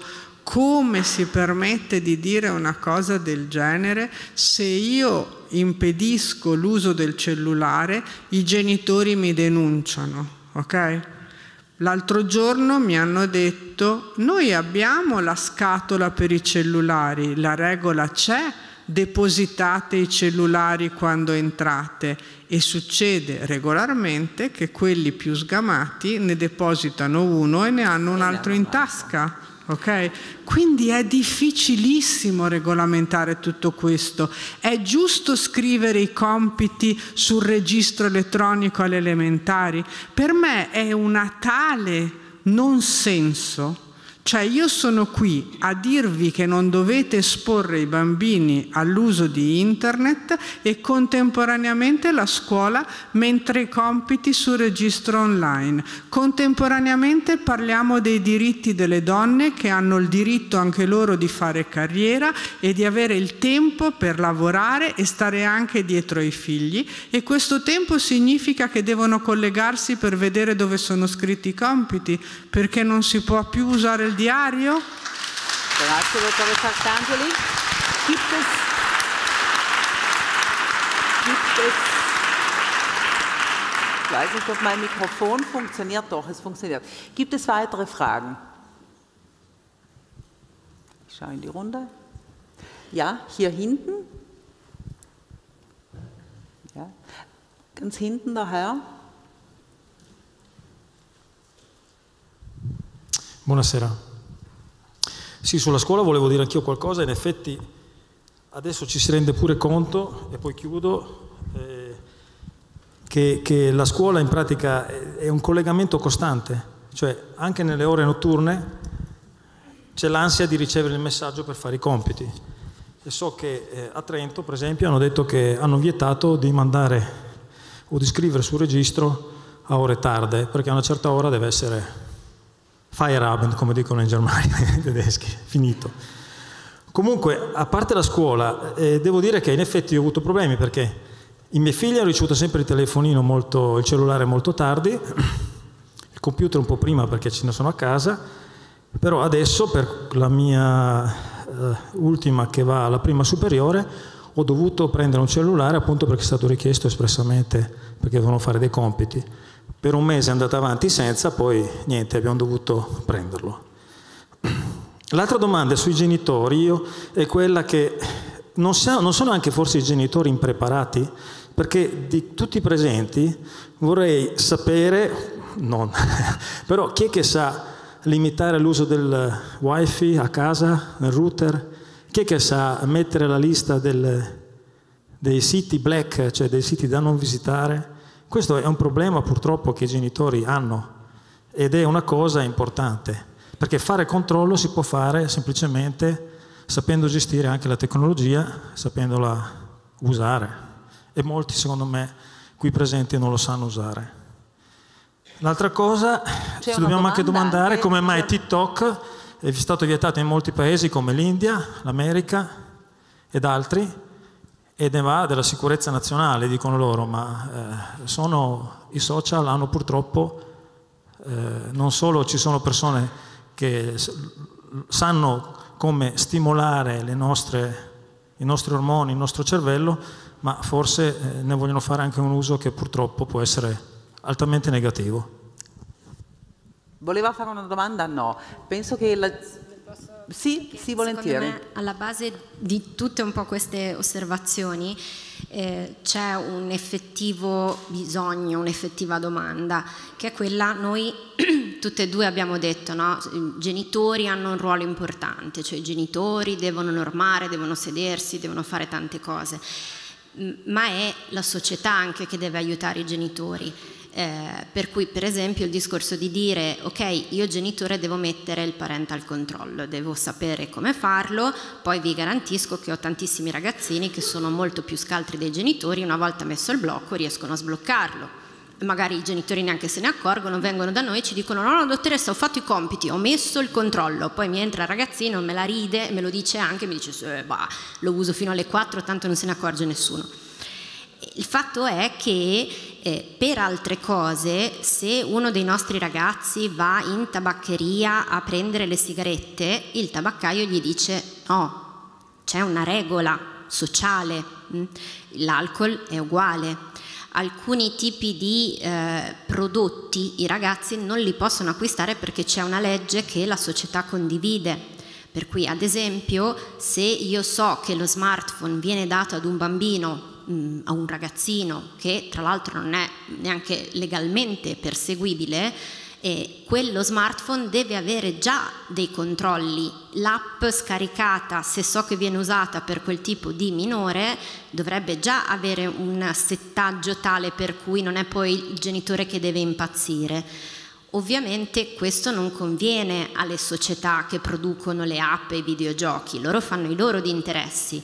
Eh, quello che appunto diceva anche la collega, il fatto che ci stiamo arrivando, così come diceva la legge sul fumo, probabilmente succederà la stessa cosa, cioè ci si renderà conto come società che è necessario muoverci compatti, anche proprio per aiutare quei genitori che strenuamente resistono e che provano a dire no, te lo do dopo il cellulare e non è sicuramente semplice farlo quando tutti gli altri compagni lo ricevono in quinta elementare, in prima media, cioè tante volte i genitori eh, ci chiedono ma non c'è il rischio che allora mio figlio si senta escluso. Eh, stamattina parlavo con mia sorella che ha un bimbo di 5 anni e vive in Francia dove le regole sono chiarissime, ma comunque i genitori possono fregarsene, diciamo, non è che, come diceva, non è che viene il generale a controllarti a casa il bambino di 5 anni viene escluso dai suoi compagni perché lui non ha la PlayStation a casa, quindi lui si ritrova da solo a giocare al parco giochi perché gli altri corrono dentro a giocare ai videogiochi.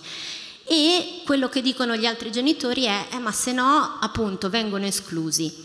Allora, se ci fosse un movimento di tutta la società, nessuno verrebbe escluso. Quella sarebbe la regola per tutti. Eh, vi porto l'esempio, forse qualcuno l'ha sentito il dottor Pellai, un collega, si sta facendo promotore di una petizione per chiedere il divieto di utilizzo degli smartphone eh, sotto i 14 anni. Io credo che in questo momento sia ancora fantascienza pensare di promuovere veramente una legge di questo tipo, però è un segno forte, il segno di dire non lasciamo al singolo genitore imporsi su questa cosa, muoviamoci tutti insieme come società. Grazie, Dr. Reiner. Ähm, wir haben die gesetzlichen Regelungen, die wir aktuell haben. Ähm, wir sind in Erwartung einer Verbesserung oder einer, einer stringenteren Gesetzesgebung. Äh, wir wissen auch, dass es ähm, bestimmter digitaler Kompetenzen von Seiten der Eltern bedarf, um eine bestimmte Regulierung auch hinzubekommen. Jetzt jenseits von diesen beiden Dimensionen. Young and Direct ist keine Elternberatungsstelle, sondern eine Beratungsstelle für junge Menschen. Aber ich möchte ganz gern von Ihnen hören, aus der Erfahrung heraus, in der Beratung von jungen Menschen. Was ist denn das, was Sie den Eltern mitgeben können? Äh, bei dieser großen Aufgabe, wir haben es heute den ganzen Abend gehört, wie viel Verantwortung auf den Schultern der Eltern lastet. Die Frage ist, welche Unterstützung gibt es jetzt, wo es diese gesellschaftliche Unterstützung in dem Sinn noch nicht gibt? Welche anderen Möglichkeiten gibt es denn, Eltern zu stärken, zu unterstützen, auch in dieser anspruchsvollen Aufgabe? Ja, also in dem Zusammenhang möchte ich auf eine, eine, ein Netzwerk hinweisen, das es in, in Südtirol gibt, da, da, sind wirklich von Land auf, Land ab äh, sämtliche Dienste dabei, von Gerichtsbarkeit bis Familienberatungsstellen, also von A bis Z. Das Ganze nennt sich Eltern, also als Webseite eltern-medienfit.bz. Das heißt, es ist ein Netzwerk, wo seit Jahren auch äh, also nicht die Problematik thematisiert wird, sondern wie können wir auch Eltern in dieser Hinsicht stärken. Äh, zum einen eben, wie, vorhin angesprochen, auch jene ein wenig dieser Kompetenzen vermitteln, äh, ihnen ein Bild davon geben, wo kann man sich hinwenden. Leider muss man eben auch sagen, ja, man kann sich auch der digitalen Angebote äh, zunutze machen. Also sprich, es gibt eben auch für Eltern Ratgeber, sei es eben wirklich dann wieder Tutorials oder eben auch bestimmte Webseiten, die genaue nicht Anweisungen, aber eben Richtlinien, Leitlinien, Leitfäden geben. Äh, jetzt in, Italien ist es oft ein wenig schwierig, das zu finden, aber vor allem im deutschen Sprachraum, Österreich, Deutschland, da gibt es einfach Webseiten, zum Beispiel saferinternet.at. Da findet man wirklich als Elternteil, also aufgelistet für Lehrpersonen, Eltern und betroffene Jugendlichen, also wirklich Leitfäden, wie kann ich bestimmte Apps einstellen. Also es geht wirklich von A bis also Z. Also vom technologischen her. Genau, genau. Mhm. Äh, und aus diesem Netzwerk heraus, um darauf zurückzukommen, gibt es aber auch sehr viele Angebote. Weil Sie es angesprochen haben, ja, als Young Direct gehen wir natürlich nicht äh, hinaus mit den Eltern arbeiten, weil die Marke gehört eigentlich den Jugendlichen. Mhm. Aber eben, und deshalb auch als, äh, als Verein selber haben wir einfach die, die Anfragen sehr oft bekommen. Und deshalb haben wir auch wirklich Elternfortbildungen, mhm. das heißt dann eben medienfitte Eltern. Und es gibt auch sehr viele andere Angebote, wirklich vom Forum Prävention bis äh, Lastrada, also wirklich sehr viele Player, hm, würde jetzt länger dauern, weil eben genau diese Notwendigkeit besteht. Leider gibt es zum einen, und das gilt, und wir haben vorhin noch darüber gescherzt, leider gibt es bei diesen Themen nicht, und auch wenn wir das gerne hätten, das eine Rezept oder wie man so schön sagt, also dieses Knödelrezept, äh, da kann man sagen, okay, was gehört grundsätzlich rein und was brauche ich dafür, aber im Grunde ist dann jeder trotzdem wieder anders. Und, und da möchte ich einfach noch mitgeben, natürlich der Ansporn, wir als Eltern, äh, ich habe auch zwei, sind gefordert zum einen, aber bitte jetzt diesen Anspruch, wir müssen es perfekt hinbekommen, der ist auch ein wenig zu hoch gestellt. Wir sind sehr bemüht, aber warum können wir nur scheitern? In dem Sinn, weil wir auch die Erfahrung nicht haben. Wir reden hier von, okay, äh, Internet und so weiter gibt es seit mittlerweile knapp 40 Jahren, aber die, die, die, wir reden eigentlich von den letzten nicht einmal zehn weil es da durch dieses Smartphone, also praktisch wie wir vorhin gehört haben, es ist nicht nur im Kinderzimmer, es ist in der Hosentasche gelandet, es, wir haben es immer mit, also vom Klo bis zu was auch immer. Das heißt, das hat exponentiell einfach noch mehr Schwung bekommen und wir hatten gar nicht die Zeit, uns anzupassen. Also sollten wir auch nicht an uns diesen Anspruch haben, wir müssen es unbedingt hinbekommen. Wir müssen dranbleiben, bemüht sein und das fordert uns und das braucht Energie und Kraft und die geht uns im Alltag sehr oft eben aus. Und ich erlebe es dann oft mit verzweifelten Eltern, die dann verzweifelt sind und sich selber abwerten, weil sie es nicht hinbekommen oder eben es nicht schaffen. Und, und da gilt es eben auch, die Eltern wirklich zu stützen. Zum einen eben hm, Kenntnisse sich anzueignen und letzten Endes aber auch sich wieder der Rolle verantwortlich sein. Ich muss nicht alles kennen, ich muss nicht alles wissen, aber ich muss irgendwo wieder in meine Verantwortung kommen. Also einen häufigen Satz, den ich leider oft höre, ist, aber ich kann doch meinem 13, 14, 15-Jährigen nicht das Handy nehmen. Zum einen ist das ja praktisch, ich will nicht sagen ein Armutszeugnis, aber das, das ja, da, da schneidet man sich praktisch selbst ins Fleisch und hat von vornherein eigentlich schon verloren. Natürlich will man als Elternteil nicht ständig in dieses Drohen und Androhen und Bestrafen gehen. Aber ich denke, wir alle wissen, wir funktionieren einfach ein wenig so. Wenn wir keine Konsequenzen befürchten, dann werden wir uns eben, wie vorhin gehört, na, ci spandiamo, ci perdiamo più che altro, dann, dann haben wir kein Limit. Es ist schwierig immer eben auch, wenn man als Experte oder als, als äh, Fachperson gefragt wird, ja, was soll ich denn machen? Ja, es ist eben schwierig zu sagen, ja, das eine funktioniert, aber wichtig ist, dass man eben konsequent ist bei dem, was man hm, sich vornimmt und eben das versucht auch durchzuziehen. Und das ist dann eben eigentlich die Schwierigkeit. Und wie gesagt, es gibt genug Anlaufstellen, Netzwerke, wer sich wer merken will, da kann man wirklich auch Unterstützung holen. Wollen Sie noch mal die Seite nennen, weil wir reden ja nicht über das Internet heute. Also wie gesagt, also man kann es einfach googeln, aber Medien, also Eltern-Medienfit ist, ist, die Webseite und da wirklich eine, eine Unzahl an, an, an Diensten, von Postpolizei bis alle dabei. die, die von verschiedenen äh, Seiten her das eigentliche Thema angehen. Also es gibt Fortbildungen für Eltern und da muss ich jetzt ein wenig auch uns an Eltern ein wenig an die Nase greifen. Sehr oft passiert es und mir persönlich auch Fortbildung in Sterzing organisiert über den Schulsprengel, also drei große Schulsprengel, insgesamt ungefähr 1000 Eltern angeschrieben, gekommen sind sechs. Mhm. Also das heißt, kein, kein Vorwurf, sondern bei allem Verständnis für Zeiten und Uhrzeiten und alles. Aber letzten Endes, wir sind gefordert. Und wo auch immer wir die Unterstützung herholen, das kann man sich ja auch selbst aneignen, aber letzten Endes läuft es darauf hinaus. Aber wir wollen jetzt nicht so sein wie der Pfarrer in der Kirche, der predigt, die, dass die Leute nicht in die Kirche gehen. Wir haben hier viele Leute, die hier sind und die sich für das Thema interessieren und die sich sehr wohl engagieren und obwohl es regnet, heute hierher gekommen sind. Darf ich, darf ich versuchen, ähm, kurz etwas auf den Punkt zu bringen, aber korrigieren Sie mich, wenn ich falsch liege. Es gibt keine Rezepte. Aber das, wozu wir als Eltern eingeladen sind, ist äh, dran zu bleiben, auch wenn es mühsam ist, auch wenn es manchmal nicht gelingt, es einfach nochmal zu versuchen und nicht aufzugeben und nicht zu sagen, ist eh wurscht. Absolut. Ist das der Punkt? Okay, Absolut. wir machen uns die Mühe und, und bleiben an der Sache dran, mit dem Wissen, dass wir es nicht perfekt hinkriegen können. Aber wir klinken uns nicht aus. Vielleicht hilft nur ein Bild. Also wenn wir, wenn wir gefragt werden oder wenn ich jemanden frage, naja, interessiert es Sie, wo Ihr Kind, Ihr Jugendlicher hingeht? Also nicht wegen Kontrolle, einfach wo er hingeht. Ja, natürlich. Mhm. Und wenn ich jemanden frage, ja, und was macht der oder die dann im Internet? Okay, vielen ja, Dank. Und genau das geht. Es geht nicht darum, das muss nicht uns interessieren, sondern es geht darum, dass wir eben begleiten. Und dass wir hinschauen. Vielen Dank. Bitte schön. Sie, äh, das, bitte, wenn Sie aufs Mikro warten, danke. Ähm, na, was ich mir wünschen würde, ich weiß nicht, mir kommt vor, das wäre vielleicht eine gute Idee, dass man, weil man als Eltern, man ist ja immer die Mutter, man ist der Vater und man muss immer die Kinder versuchen, eben von den Medien wegzubekommen. Und es ist einfach, man ist immer in derselben Rolle, Mutter, Kind, Vater, Kind. Aber ich glaube, dass es vielleicht möglich wäre, dass man, wenn man das jetzt flächendeckend in der Schule auch zum Thema macht, dass vielleicht Experten in die Schulen kommen und wirklich die Kinder auch eben jugendgerecht oder kindgerecht über die Gefahren ähm, eben zu informieren. Ich glaube schon, dass das vielleicht mehr bringen würde, als wenn immer nur das Elternhaus das übernimmt. Also zusätzlich. Also zusätzlich Fall, natürlich zu, mhm. zusätzlich, ja. Also ich unterrichte auch in der Schule, ich versuche es jetzt auch zu thematisieren mit den Schülern. Mir kommt vor, es kommt von ihnen sehr viel.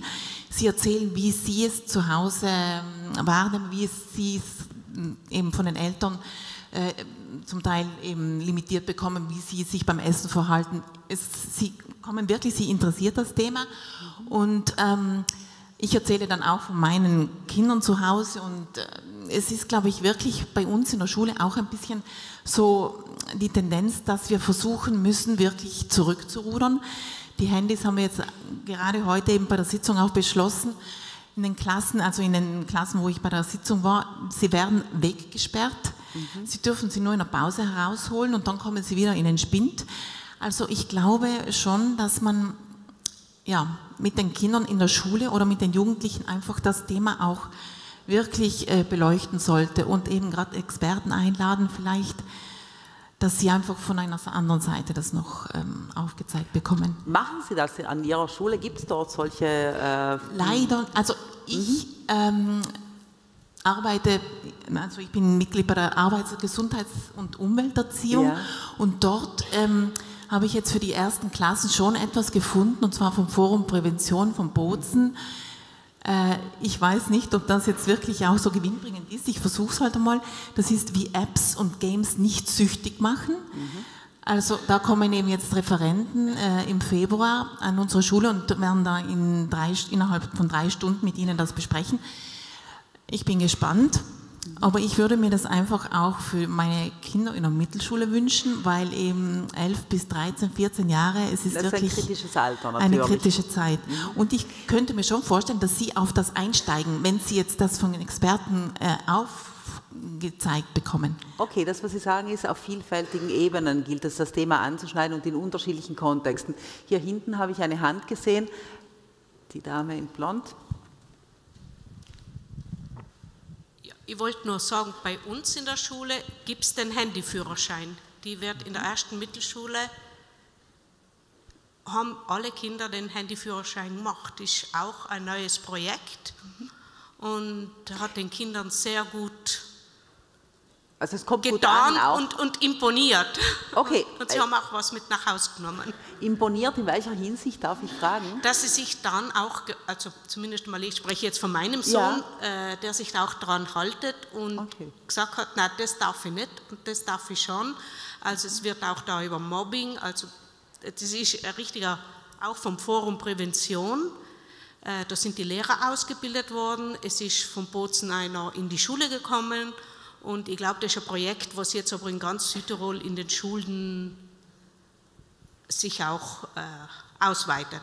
Mhm. Vielen Dank für diesen Erfahrungsbericht, der Handyführerschein für Schülerinnen und Schüler. Hier hinten sehe ich eine Hand im rechten hinteren Block.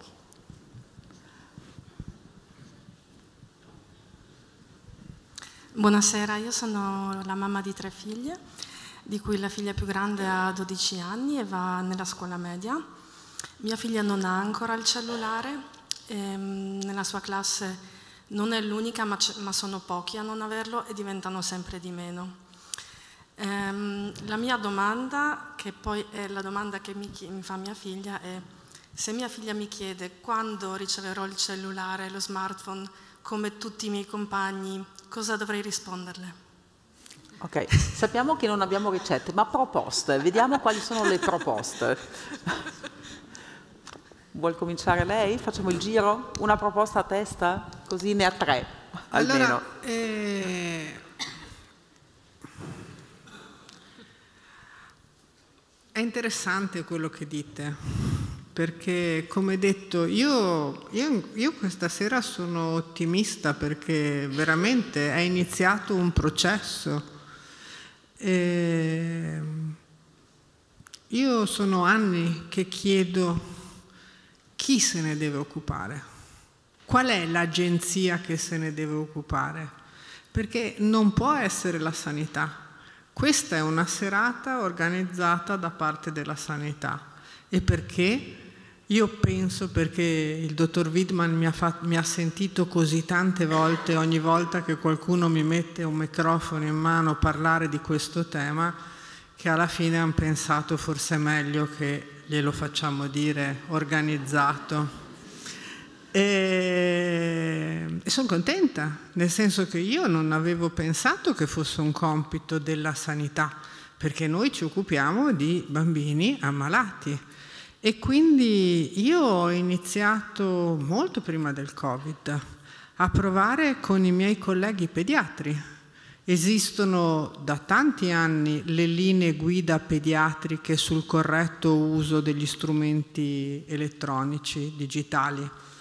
Ho chiesto mi aiutate voi?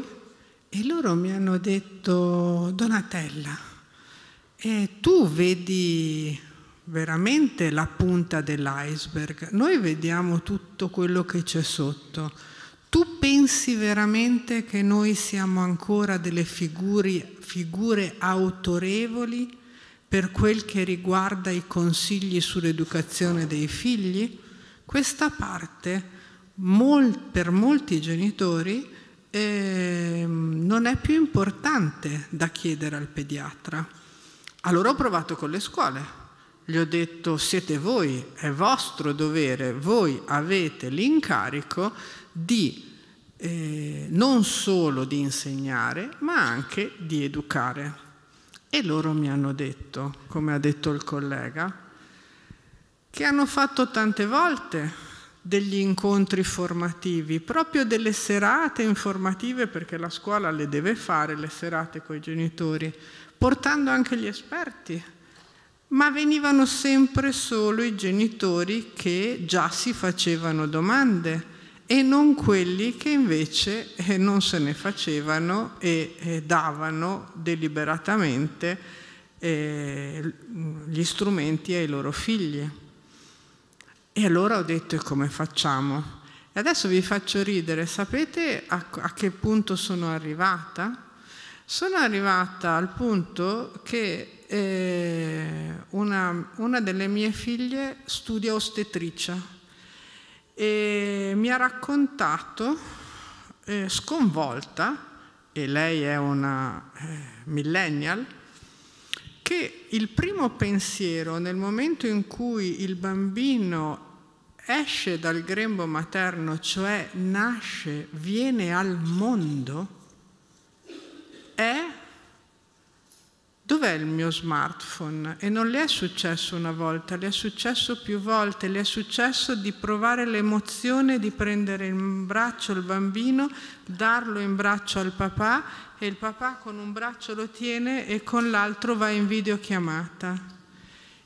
A me ha toccato profondamente questa cosa perché mi sono detto se non riusciamo a godere, a stare nell'attimo, in quell'attimo così profondo come quello della nascita, è evidente che siamo sempre fuori fase. Io, io, la interrompo un attimo perché avevamo una domanda molto precisa. La domanda era, la mia figlia tredicenne, se non sbaglio, mi, scusi, mi chiede quando, posso, quando, può avere non il cellulare. C'è. Le abbiamo parlato 40 minuti, ok? Ok, lei dice In due le abbiamo fatto vedere il contratto.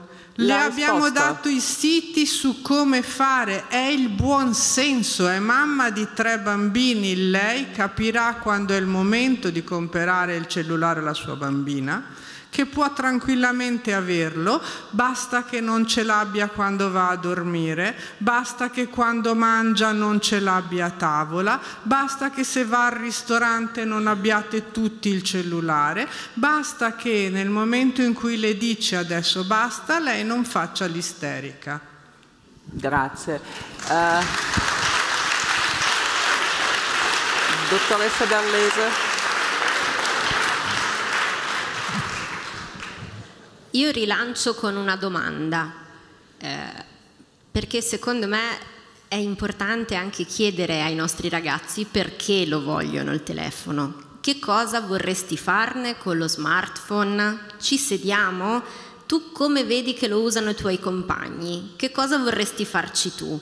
Farli ragionare su a volte la stupidità dell'uso è importante perché è come dicevamo prima per esempio sul cyberbullismo, loro ricevono le informazioni ma poi non riescono a declinarle su loro stessi, è sempre il famoso circuito frontale che non funziona tanto bene. Cioè il fatto di fare un tiro alla corda, mamma quando è che me lo dai? Non lo so, no dimmi quando, no non te lo dico adesso, ci si concentra solo sul quando mi dai il telefono, mentre la domanda è che cosa te ne fai del telefono, figlia mia? Ah, voglio guardare TikTok. Perché? Eh, perché dicono che è divertente. Cos'altro è che ti diverte? Ascoltare la musica, uscire con le mie amiche. Allora intanto vai a fare quello che è divertente ci penseremo quando arriverà lo smartphone, ma aiutarli a ragionare sul fatto che non è un reale valore aggiunto alla loro vita di tutti i giorni, serve realmente pochissimo. Prima dicevamo del discorso scuola, in alcuni rarissimi casi ha un senso la tecnologia digitale, ma in ragazzi dove si inserisce all'interno di un PEI, in un percorso anche proprio specifico, individualizzato, ma nella maggior parte dei casi è un passatempo che non è in questo momento così tanto un'alternativa eh, ad altre cose che già ci sono. Il problema è il contrario, quando noi abbiamo dato i cellulari precocemente, ci diciamo no, adesso alla serata informativa hanno detto meglio prima dei 14 no, allora aspetta che te lo ripiglio, però tu non sai più che cosa fare senza il cellulare. Quindi la cosa importante è aiutare i ragazzi a capire come riempire il loro tempo, che cosa gli piace e che cosa no e che cosa pensano di farne con questo cellulare. Quindi aiutarli a allargare lo sguardo. Allora ci provo a dare una risposta. Um, non abbia paura a darglielo.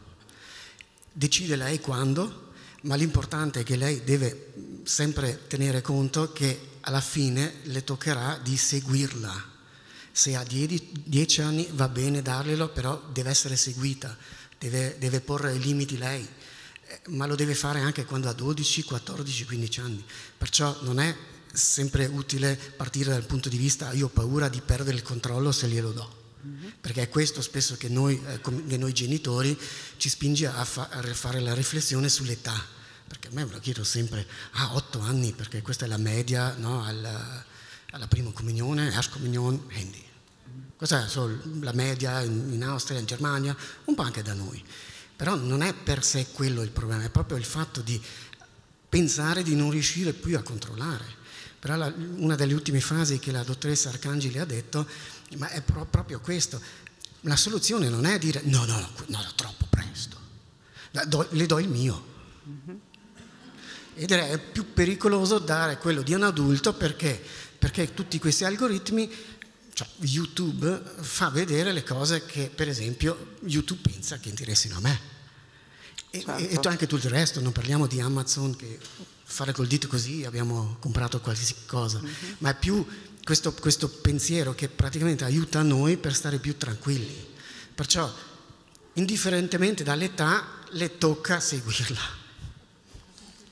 È, è quello, almeno fino a cioè, una certa età. No, dico almeno fino a una certa età tocca Ovvio. seguirla. Ok. No, la ringrazio per l'intervento perché appunto è proprio perché mh, appunto non voglio negare lo smartphone per sempre, per quello mi, mi, mi faccio questa domanda. E rispondo solo un attimo ancora alla dottoressa Berlese che diceva. Sì, poi vediamo chiedere, se ci sono altre sì. domande perché il eh, tempo è. Dico, poco. io ho ben chiesto appunto a mia figlia perché la domanda era a cosa ti serve il cellulare o lo smartphone e aveva detto per il WhatsApp perché i bambini, i ragazzi comunicano tanto tramite WhatsApp tra di loro. Questa era la sua risposta, ecco, nel mio caso specifico. Comunque grazie mille per le risposte. Grazie della domanda. Uh, lì in fondo vedo una mano alzata. Grazie. Buonasera, mi chiamo Thomas. Eh, io questa sera sono ottimista perché è iniziato un processo, non può essere solo la sanità ad occuparsene è il buonsenso, basta che, basta che, basta che. Io rilancio con una domanda, farli ragionare sulla stupidità dell'uso, serve pochissimo, e poi non abbia paura a darglielo. Mi sono appuntato, perdonatemi così velocemente, eh, i vostri ultimi interventi, a dargli che cosa? Questo è un telefono cellulare quello che durante tutta la serata avete detto cellulare, smartphone, eccetera, è un vero e proprio computer tascabile, multifunzione, sempre collegato, connesso alle reti telefoniche, internet, con campi elettromagnetici potenti che continuano a trasmettere. Per farli occorre, occorrono parecchie materie prime che vengono definite rare, parecchia energia, per produrre tutte queste diciamo, strumentazioni occorrono parecchie eh, industrie e per gestirlo, come diceva prima eh, l'intervento, eh, parecchie data center, centri dati.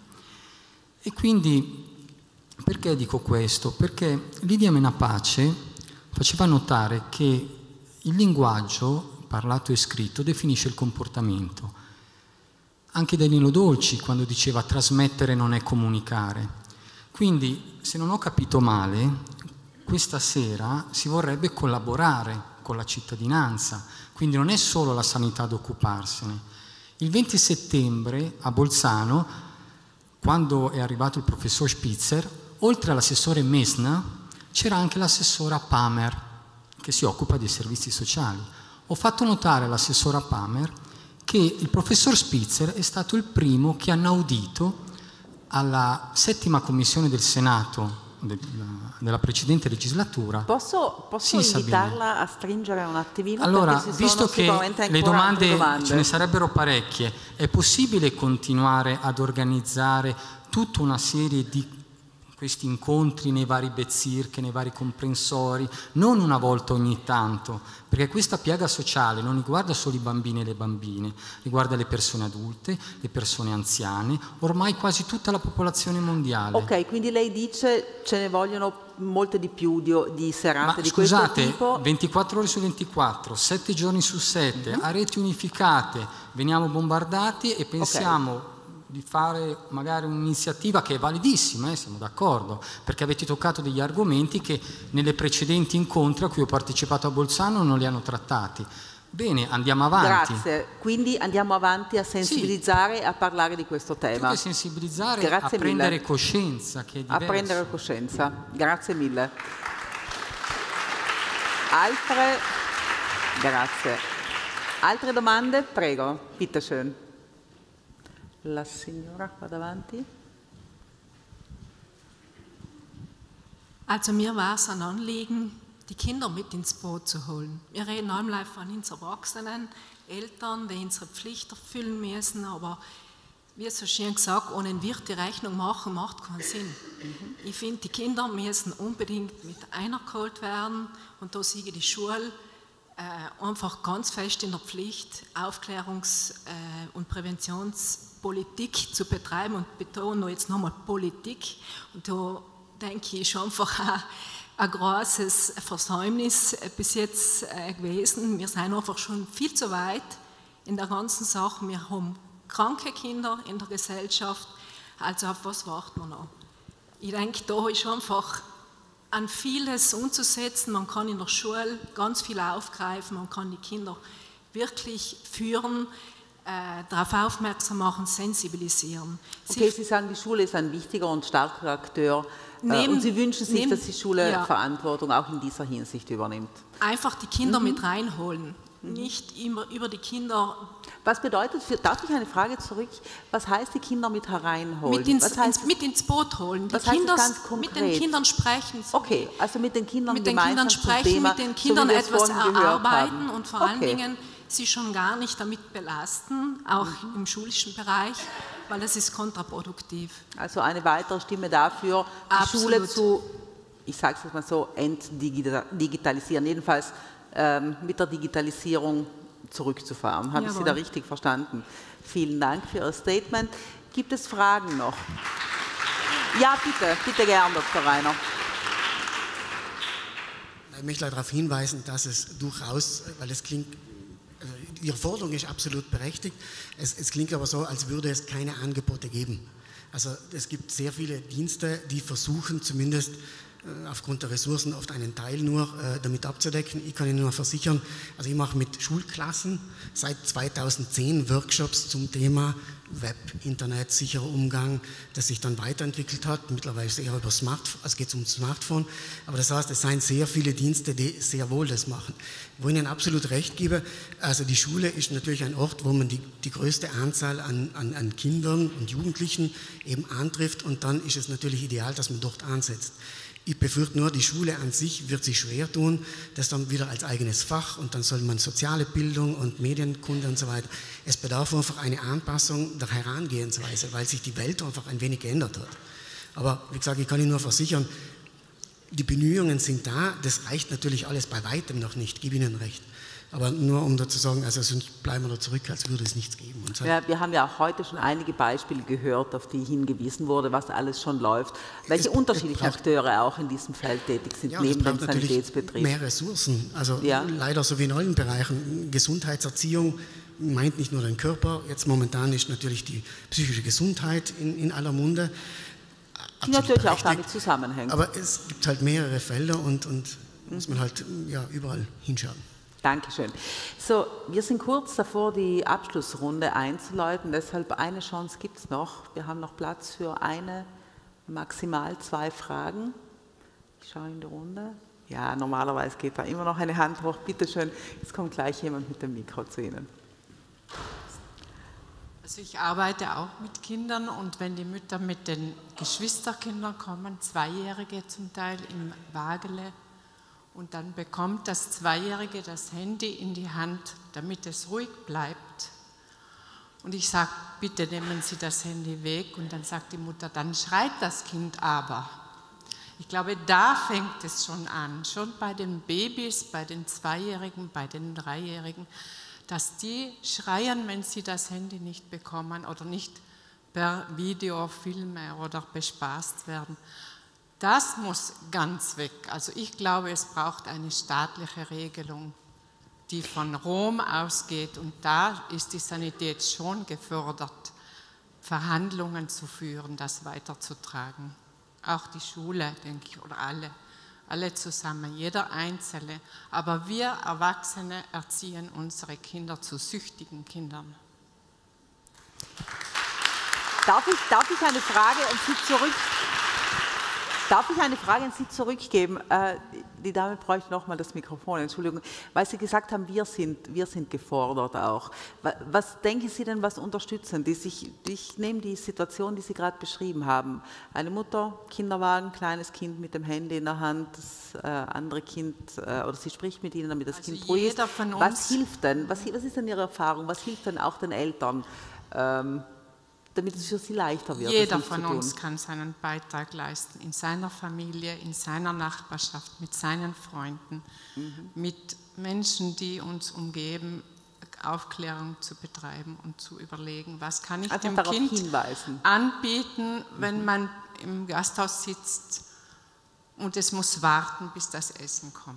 Braucht es da das Handy oder kann ich ein Spielzeug mitnehmen? Was, welche Möglichkeiten also kann es gibt Alternativen und die gilt es aufzuzeigen. Jeder von uns, mhm. glaube ich, muss in dieser heutigen Zeit da eine Verantwortung mittragen. Aber die, das muss irgendwie staatlich. Ich habe gehört, dass die Australianer bis 16 Jahren kein Handy besitzen dürfen. Vom Gesetz Geber geregelt. Sie, dürfen Sie sagen, es braucht auch die gesetzliche Regelung ich dazu. Ich glaube, das ist das notwendig, ja das Bewusstsein, Thema. dass das schädlich mhm. ist bis zu einem gewissen Alter. Dankeschön. Vedo che... Certo. Perché prima stavo finendo un discorso, stavo dicendo che eh, sono così tanti anni che mi interrogo come possiamo riuscire a sensibilizzare le persone perché non è un compito della sanità, perché non deve essere un problema solo di non deve essere un problema di salute, perché non può essere che facciamo ammalare i nostri bambini. E grazie all'iniziativa di alcune eh, professioniste che lavorano nel servizio di riabilitazione dell'età evolutiva eh, che è sotto il mio primariato è diretto dalla dottoressa Berlese, e loro mi hanno detto, la dottoressa che ha appena parlato è una delle collaboratrici, noi non ce la facciamo più, noi non ce la facciamo più a vedere queste mamme che danno i cellulari ai fratellini in mano, cosa possiamo fare? E, e, siamo partiti così. Io penso che ognuno può fare la sua parte. Noi adesso iniziamo una campagna di sensibilizzazione del personale dell'ospedale di Merano e abbiamo coinvolto le ostetriche perché sono le prime che hanno a che fare con i genitori. Eh, sono le prime che parlano con i genitori e faremo degli eventi di formazione all'interno dell'ospedale per, per formare eh, gli operatori che hanno a che fare con i genitori a come si sensibilizzano i genitori su questo tema con la speranza di diventare poi ognuno moltiplicatore di un pezzettino. Gra- Grazie. No, ma la formazione non è online, è per il personale sanitario, per cui eh, per il personale... Ah, Okay, wenn Sie, wenn Sie ohne Mikrofon sprechen, dann hört man Sie nicht. Also wenn Sie noch was sagen möchten, allerletztes Statement, dann geht es in die Abschlussrunde. Bitte. Kurz und knackig. Ultimamente in sanità tutti gli aggiornamenti, o quasi tutti, o tanti, vengono proposti online. Quindi quello che lei chiede è che sia una formazione per favore fate in, presenza, fate in presenza questa cosa perché è molto eh, importante. Bene, c'è l'assicurazione della dottoressa Arcangeli, grazie. Yeah, vorrei concludere questa serata con una domanda uguale a, per tutti voi tre che siete qua sul podio. E, ehm, e la domanda può sembrare un po' strana, abbiamo fatto dei discorsi molto complessi, differenziati. Io vi chiederei di eh, dirci qual è la cosa, una cosa, che conta veramente in questo contesto? Qual è il vostro take home message in questo senso? Qual è die eine Sache, die wirklich zählt? Dovendo la sceglierne vedo, solo, solo, solo, una, sì. essere modelli. Eh, okay. Eh, io appunto ho parlato più degli adolescenti e è fondamentale. Per cui appunto siamo autorevoli nel momento in cui diciamo cose non solo in cui crediamo e quindi dobbiamo crederci e per crederci dobbiamo capire perché lo stiamo dicendo, quando anche poi lo facciamo. Grazie, dottoressa Barlese. Dottoressa Arcangeli. Mio figlio ne ha veramente bisogno? Ha veramente bisogno in questo momento del mio cellulare o di stare su internet? Quindi lo sguardo al bisogno reale. Dr. Reiner? Hinschauen. Hinschauen. Also nicht, nicht annehmen, dass wenn man sich Sachen zur Hilfe nimmt, also Parental Control Apps oder sonst was, dass man davon praktisch jetzt geschützt ist. Also so dieses Motto, nur weil ich auf der Skipiste den Helm auf habe, muss ich trotzdem aufpassen. Das heißt, wir sind leider gefordert und ja, das ist halt wirklich anstrengend. Anstrengend, macht aber auch schon ein bisschen Spaß, oder? Würde ich sagen, unsere Kinder zu begleiten, ins Erwachsenwerden. Vielen, vielen Dank. So, bevor wir den heutigen Abend abschließen, noch mal ein Wort zu den Karten, zu den Zetteln, äh, die Sie auf Ihren Stühlen haben. Wir laden Sie wirklich sehr herzlich ein di compilare questo questionario, di darci un feedback rispetto alla serata, eh, di segnare anche molto volentieri temi che vi interessano, che vorreste che l'azienda sanitaria proponesse eh, nell'anno prossimo e vi chiedo soprattutto se volete avere informazioni su queste manifestazioni di segnare il vostro indirizzo email in modo leggibile e solo in quel caso se segnate l'indirizzo email vi chiediamo anche di firmare per motivi di privacy ähm, la scheda. Ja, herzlichen Dank, grazie mille alle, ai tre ospiti sul podio per questa serata molto bella. Vielen, vielen herzlichen Dank auch Ihnen allen für dieses so, so aktive Dabeisein. Danke an die Organisatorinnen, danke an die äh, Simultanübersetzerinnen und Übersetzer, die wie immer exzellente Arbeit leisten. Ja, ich freue mich schon darauf, vielleicht die eine oder den anderen von Ihnen bei unserem nächsten Termin äh, zu sehen. Am 21. November geht es passend zur Jahreszeit in Bozen weiter mit dem Thema richtiger Gebrauch von Antibiotika. Bis dahin haben Sie eine gute Zeit und kommen Sie gut nach Hause. Buona serata.